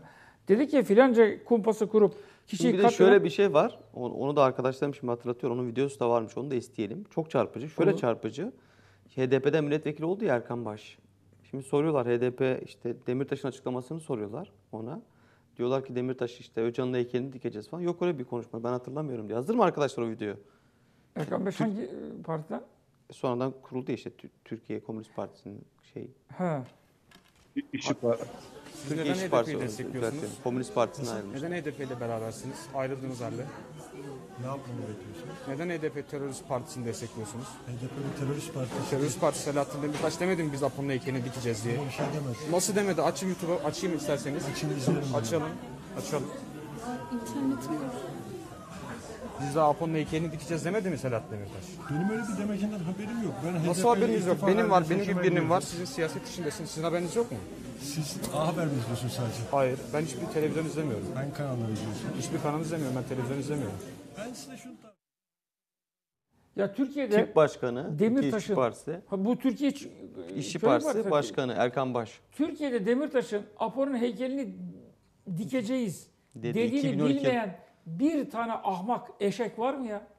Türkiye'de yaşayıp Bir da de siyasi gel- parti genel başkanı. yazıklar olsun. İşte onu diyorum demin dedim ya bir avuçta şey var diye. Yani yazıklar olsun ya. ya delikanlı adama böyle bir şeyi saklamak yakışır mı ya? Hani Engin Altay'ın dediği gibi terörle iltisakı var mı yok mu bilmiyorum. Ben zaten anlamadığım noktalar bunlar. Yani çıkıp açık yürekli söyleyin arkadaş. HDP yok deyin. Hani Selahattin Demirtaş diyor bize göre PKK silahlı halk hareketidir. Siz de Onu- deyin. Hayır kardeşim HDP terörist değil. Ben HDP'nin demokratik bir örgüt olduğunu savunuyorum. Değil de niye bu kaldı. yalanlar? Veresiye veremem ardına sıra gelin. Bakın aday gösterseler de seçtiremezler. Velev ki diyelim ki seçtirdi. HDP'den milletvekili oldu bu isim daha önce. Baş. Yok yok. Cumhur, Millet İttifakı'nın Evet. adayı diyelim ki Cumhurbaşkanı oldu. Nasıl yönetecekler bu memleketi? 7 Haziran'da %59 nokta küsür hatta e, AK Parti 40.8 aldı. Diğer muhalefet de o zaman İyi Parti daha yoktu. MHP'nin içindeydi. MHP de o zaman AK Parti'ye muhalifti. 59.2 toplamı vardı. Yaklaşık %60 diyordu. %60 dedi biz dedi bir hükümet çıkartacağız dedi Sayın Topladılar, Kılıçdaroğlu. topladılar. Çıkartabildiler mi? 42'de mi ne kaldı? 44 mü? Hayır, Sayın Bahçeli bozdu bütün oyunları. Bir, Hayır son sonraki seçimde ne oldu? Ondan sonra ezdi geçti şey. Evet. Yüzde 49,5 aldı AK Parti. 48 diye hatırlıyorum. 6 ama ay olmadan 49 muydu? yani 7 Haziran 1 Kasım Evet, seçimleri. 5 ay sonra seçim oldu. Böyle bir Millet İttifakı aday çıkartamaz. Çıkartsa da kazanamaz. Kazansa da Türkiye'yi yönetme kabiliyeti olamaz. Sen HDP'ye bakanlıkta, orada belediyede 500 tane e, PKK sempatizanı iş almaya benzemez. İyi. Parti'ye Fatma Kurtulan demişti. Mecliste hiç unutamadığım sözlerden biridir yine seçimlerden sonra. Bu sıralarda bizim sayemizde oturuyor. Evet, dedi. dürüstçe söylüyor. O yüzden İyi Parti, işte. HDP milletvekili dedi ki İyi Parti isimlere döndü. İyi Parti, İyi Parti çok konuşmayın. Bu sıralarda bizim Evet. sayemizde oturuyorsunuz. 9.99'dan girdi meclise. Sezai Temelli'nin yine konuşması var İstanbul'la ilgili. Dedi ki biz destekliyoruz ve İmamoğlu seçildiğinde girecek. bilecek ki dedi. Doğru söylüyor. HDP sayesinde girdi. Mansur Yavaş bilecek ki dedi HDP Doğru. sayesinde. Deniz Bey, örnek veriyorum. Mithat Sancar'ı İstanbul Belediye Başkan adayı yapsaydı HDP, %8-9 oy alacaktı. Ekrem İmamoğlu o zaman seçilebilecek miydi? Binali Bey 8-10 puan farkla tıpkı rahmetli Kadir Topbaş gibi seçilmiş olacaktı. Yani HDP olmadan CHP ve İyi Parti bir şey yapamayacağını biliyor. Ama bu sefer Cumhurbaşkanı İstanbul seçimi değil. E, Şimdi buna milletimiz karar verecek. Tabii ki milletimizin tercihi baş üstüne ama böyle bir adayın Ha tek- şimdi şu yok mu? HDP ile ittifak yaptığını söyle. HDP açık ittifak istiyor şimdi. HDP ile ittifak yaptın. Milliyetçi seçmen ne diyecek buna? İyi Parti'nin tabanı ne diyecek? CHP İşte içindeki onu da Yılmaz Özdil gibiler morfinlemeye çalışıyor. Onlar o kadar HDP morfin. güzellemesi yapıyorlar ama ben milletimizin ve Cumhuriyet Halk Partisi tabanının basiretine güveniyorum. CHP'nin çok büyük bir ders alacağına inanıyorum. İyi Parti'nin ders alacağına inanıyorum. daha önce aldı zaten CHP. Aldı, yine Baraj altında kaldı. Kaldı. O zaman DAP. Sosyal Demokrat Halkçı Parti PKK ile işbirliği yapınca SHP olarak e, Leyla Zanaları, Hatip Dicle'leri, e, Sırrı Sakıkları meclise soktuğunda ertesi seçimde iki buçuğa indi. Evet. Yani e, PKK ile işbirliği CHP'yi daha önceki zamanlarda da farklı isimdeki partilerde de bitirmişti. Erdem Bey süremizin sonuna geliyoruz artık. Sizin de yorumlarınızı alalım. Ben, ben şunu söylemek istiyorum bu görüntüyle ilgili konuşmak istiyorum Erkan Baş'ın şeyle ilgili. Yani kısacık bir görüşme cep telefonla çekmiş vatandaşımız. Kısacık bir görüşme içinde 5 tane yalan var. bir diyor ki ben- Saydınız mı? Görüntü e, Varda mı Yani incelediniz? bırak parti başkanı bir beş de. Varda tane- incelemiş Erdem Hocam. beş- Varda da beş tane diyor. Birincisi diyor ki e, ben o konuşmayı duymadım diyor. Ya koca mitingde yaptı. Sen de o partinin milletvekildin. Yani Erkan Baş kendin oy alarak gelmedin ki oraya. Milletvekili sıfatı taşıyorsun ama sen HDP ile beraber e, seçildin. HDP oylarıyla, PKK oylarıyla seçildin. Ve hülle usulüyle daha sonra bir partinin, eski bir partinin adını da kullanarak Orada da solcuları Ee, avlamak için. Solcuları avlamak için zaten. Yani en kısa zamanda o bıyıklarını kessin. O bıyıklar çünkü devrimci bıyığıdır. Onu devrimciler yalan söylemez. Onu, onu Ee, diyorum. bir yakışmıyor. karış da bıyığı var diyorum ya. Mustafa Bey de o yorumu yaptı bir Erdem Bey. avuç da bıyığı var yani. Bir avuç da bıyığı delikanlı var. adama yakışır mı ya bu şekilde yalan söylemek ya? Çıktı ki İkinci kardeşim politik bir şiddet hareketidir de destekliyorum da. Ya onu da işte bana göre demokratik Diyorlar. kitle örgütüdür diye de Evet. demokratik bir harekettir de. Hayır silahlı örgüttür de saygı duyuyorum de. Ben duydum diyor. Sen niye duymadın diyor. Sen diyor A Haber'i mi izliyorsun diyor bak. Bak ahlaksıza bak. Ya ne demek A Haber'i izlemek? E çünkü şu itirafı da aslında içeriyor bu. E, ha- diğer kanalları izlersen onları göremezsin zaten. Onu yayınlamazlar yani. Ya bunu ulusal kanal ya e, şeye muhalefete karşı çıkan A Haber yayınlar ve onu da böyle aşağılıyor. Yani sen e, şey yapıyorsun. Haber mi izliyorsun sadece diyor evet. Evet sadece onu söylüyor. Sonra diyor ki ya diyor ben diyor demokrasiden, insan haklarından, kardeşlikten yanayım diyor. Ya hiçbir demokrat PKK gibi faşist bir partiyi desteklemez. Yani onunla beraber olmaz. PKK bugün e, siyasi partiler bilimi anlamında baktığınızda da o Düverci'nin anlattığı tam faşist örgütlenme biçimine, Nazi partisi örgütlenme biçimine sahiptir. Ee, insan hakları demokrasi. Bir de en kötü yalanını da sona e, sakladım. Ee, siz diyor neden böyle yapıyorsunuz falan deyince ya diyor sen diyor ana dilde konuşması istemez misin kardeşinin diyor. Bu ülkede ana dilde konuşmak yasak diyor. Ve video öyle bitiyor. O Ya 80'li bu ülkede 90'lı yılların Türkiye'sine karşı karıştırıyor herhalde veya bile bile çarpıtıyor. Yalan söylüyor. Yani bunlar açık açık yalan söylüyor. Yani bu kadar kısa süreye bu kadar yalanı Erdem Bey Nasıl siz de buraya sığdırayım? geldiniz kaç defa? İstiklal Caddesi'nde bu stüdyolar. Onu Seyircilerimiz de anlatmaya bilir. gerek bile yok. Mustafa Kapının Bey. önünde Evet. 7-24 Kürtçe şarkı söyleniyor ve ben bundan iftihar ediyorum. rahatsızlık duyan Sevgili hiç Kürt kimse de yok. vatandaşlarımız ana dilli konuşmalarından biz iftihar ediyoruz.